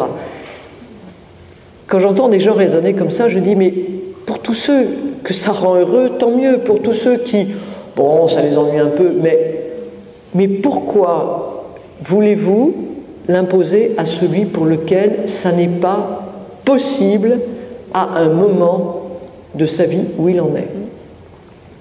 Voilà, ce sera ma réponse à moi. J'ai du mal à comprendre que l'on contraigne au nom de principes égalitaires des gens qui sont des élèves, qui sont des, des êtres en formation, à se trouver dans des situations qui les font souffrir. Voilà. C'est alors l'obligation scolaire, j'y crois, c'est-à-dire la responsabilité de l'État, euh, parce qu'on est un pays qui est fait comme ça. Hein. Dans d'autres pays, ce serait la responsabilité de fondations privées. Mais hier, je vous dis qu'il y a toujours quelqu'un qui prend la parole en disant mon fils, euh, un chef d'établissement qui a pris la parole. Je vais conclure comme elle a conclu hier disant voilà, moi j'ai deux fils, ils sont nés à deux jumeaux, ils sont nés à cinq minutes de différence. Bon, il y en a un qui a fait une scolarité brillante et l'autre, je ne peux pas dire qu'il est décroché, il n'a jamais accroché à l'école. Bien. Et elle dit bon, je ne vais pas vous raconter tout ce par quoi on est passé. Et puis, enfin, il vient de rentrer, je ne sais pas si vous connaissez ce qu'on appelle l'école 42. Hein, c'est une fondation où une boîte d'informatique a dit Moi, je prends tous ceux qui veulent venir, quel qu'il soit. La dame nous disait que son fils, elle n'est pas sûre qu'il sache écrire. Et elle dit Mon fils est ravi, il dit qu'il adore apprendre, et que d'un seul coup, il est en train de se dire Bon, alors maintenant, qu'est-ce qu'il faut que je fasse pour euh, passer un BTS, etc. Voilà. Peut-être que ça aurait pu avoir lieu plus tôt. Et je pense que ça aussi, ça rejoint ma réponse euh, précédente, c'est la difficulté de notre système à entendre la souplesse et la perméabilité. Parce que finalement, les décrocheurs, c'est vrai qu'ils ne sont pas si nombreux que ça. On a 10 millions d'élèves qu'on fait réussir en grande majorité. Puis a ceux-là, et ceux-là, on doit s'en occuper. Et euh, nous plaidons pour qu'on les considère individuellement. Je ne peux pas aller plus loin. Voilà. Je vous remercie pour votre attention longue.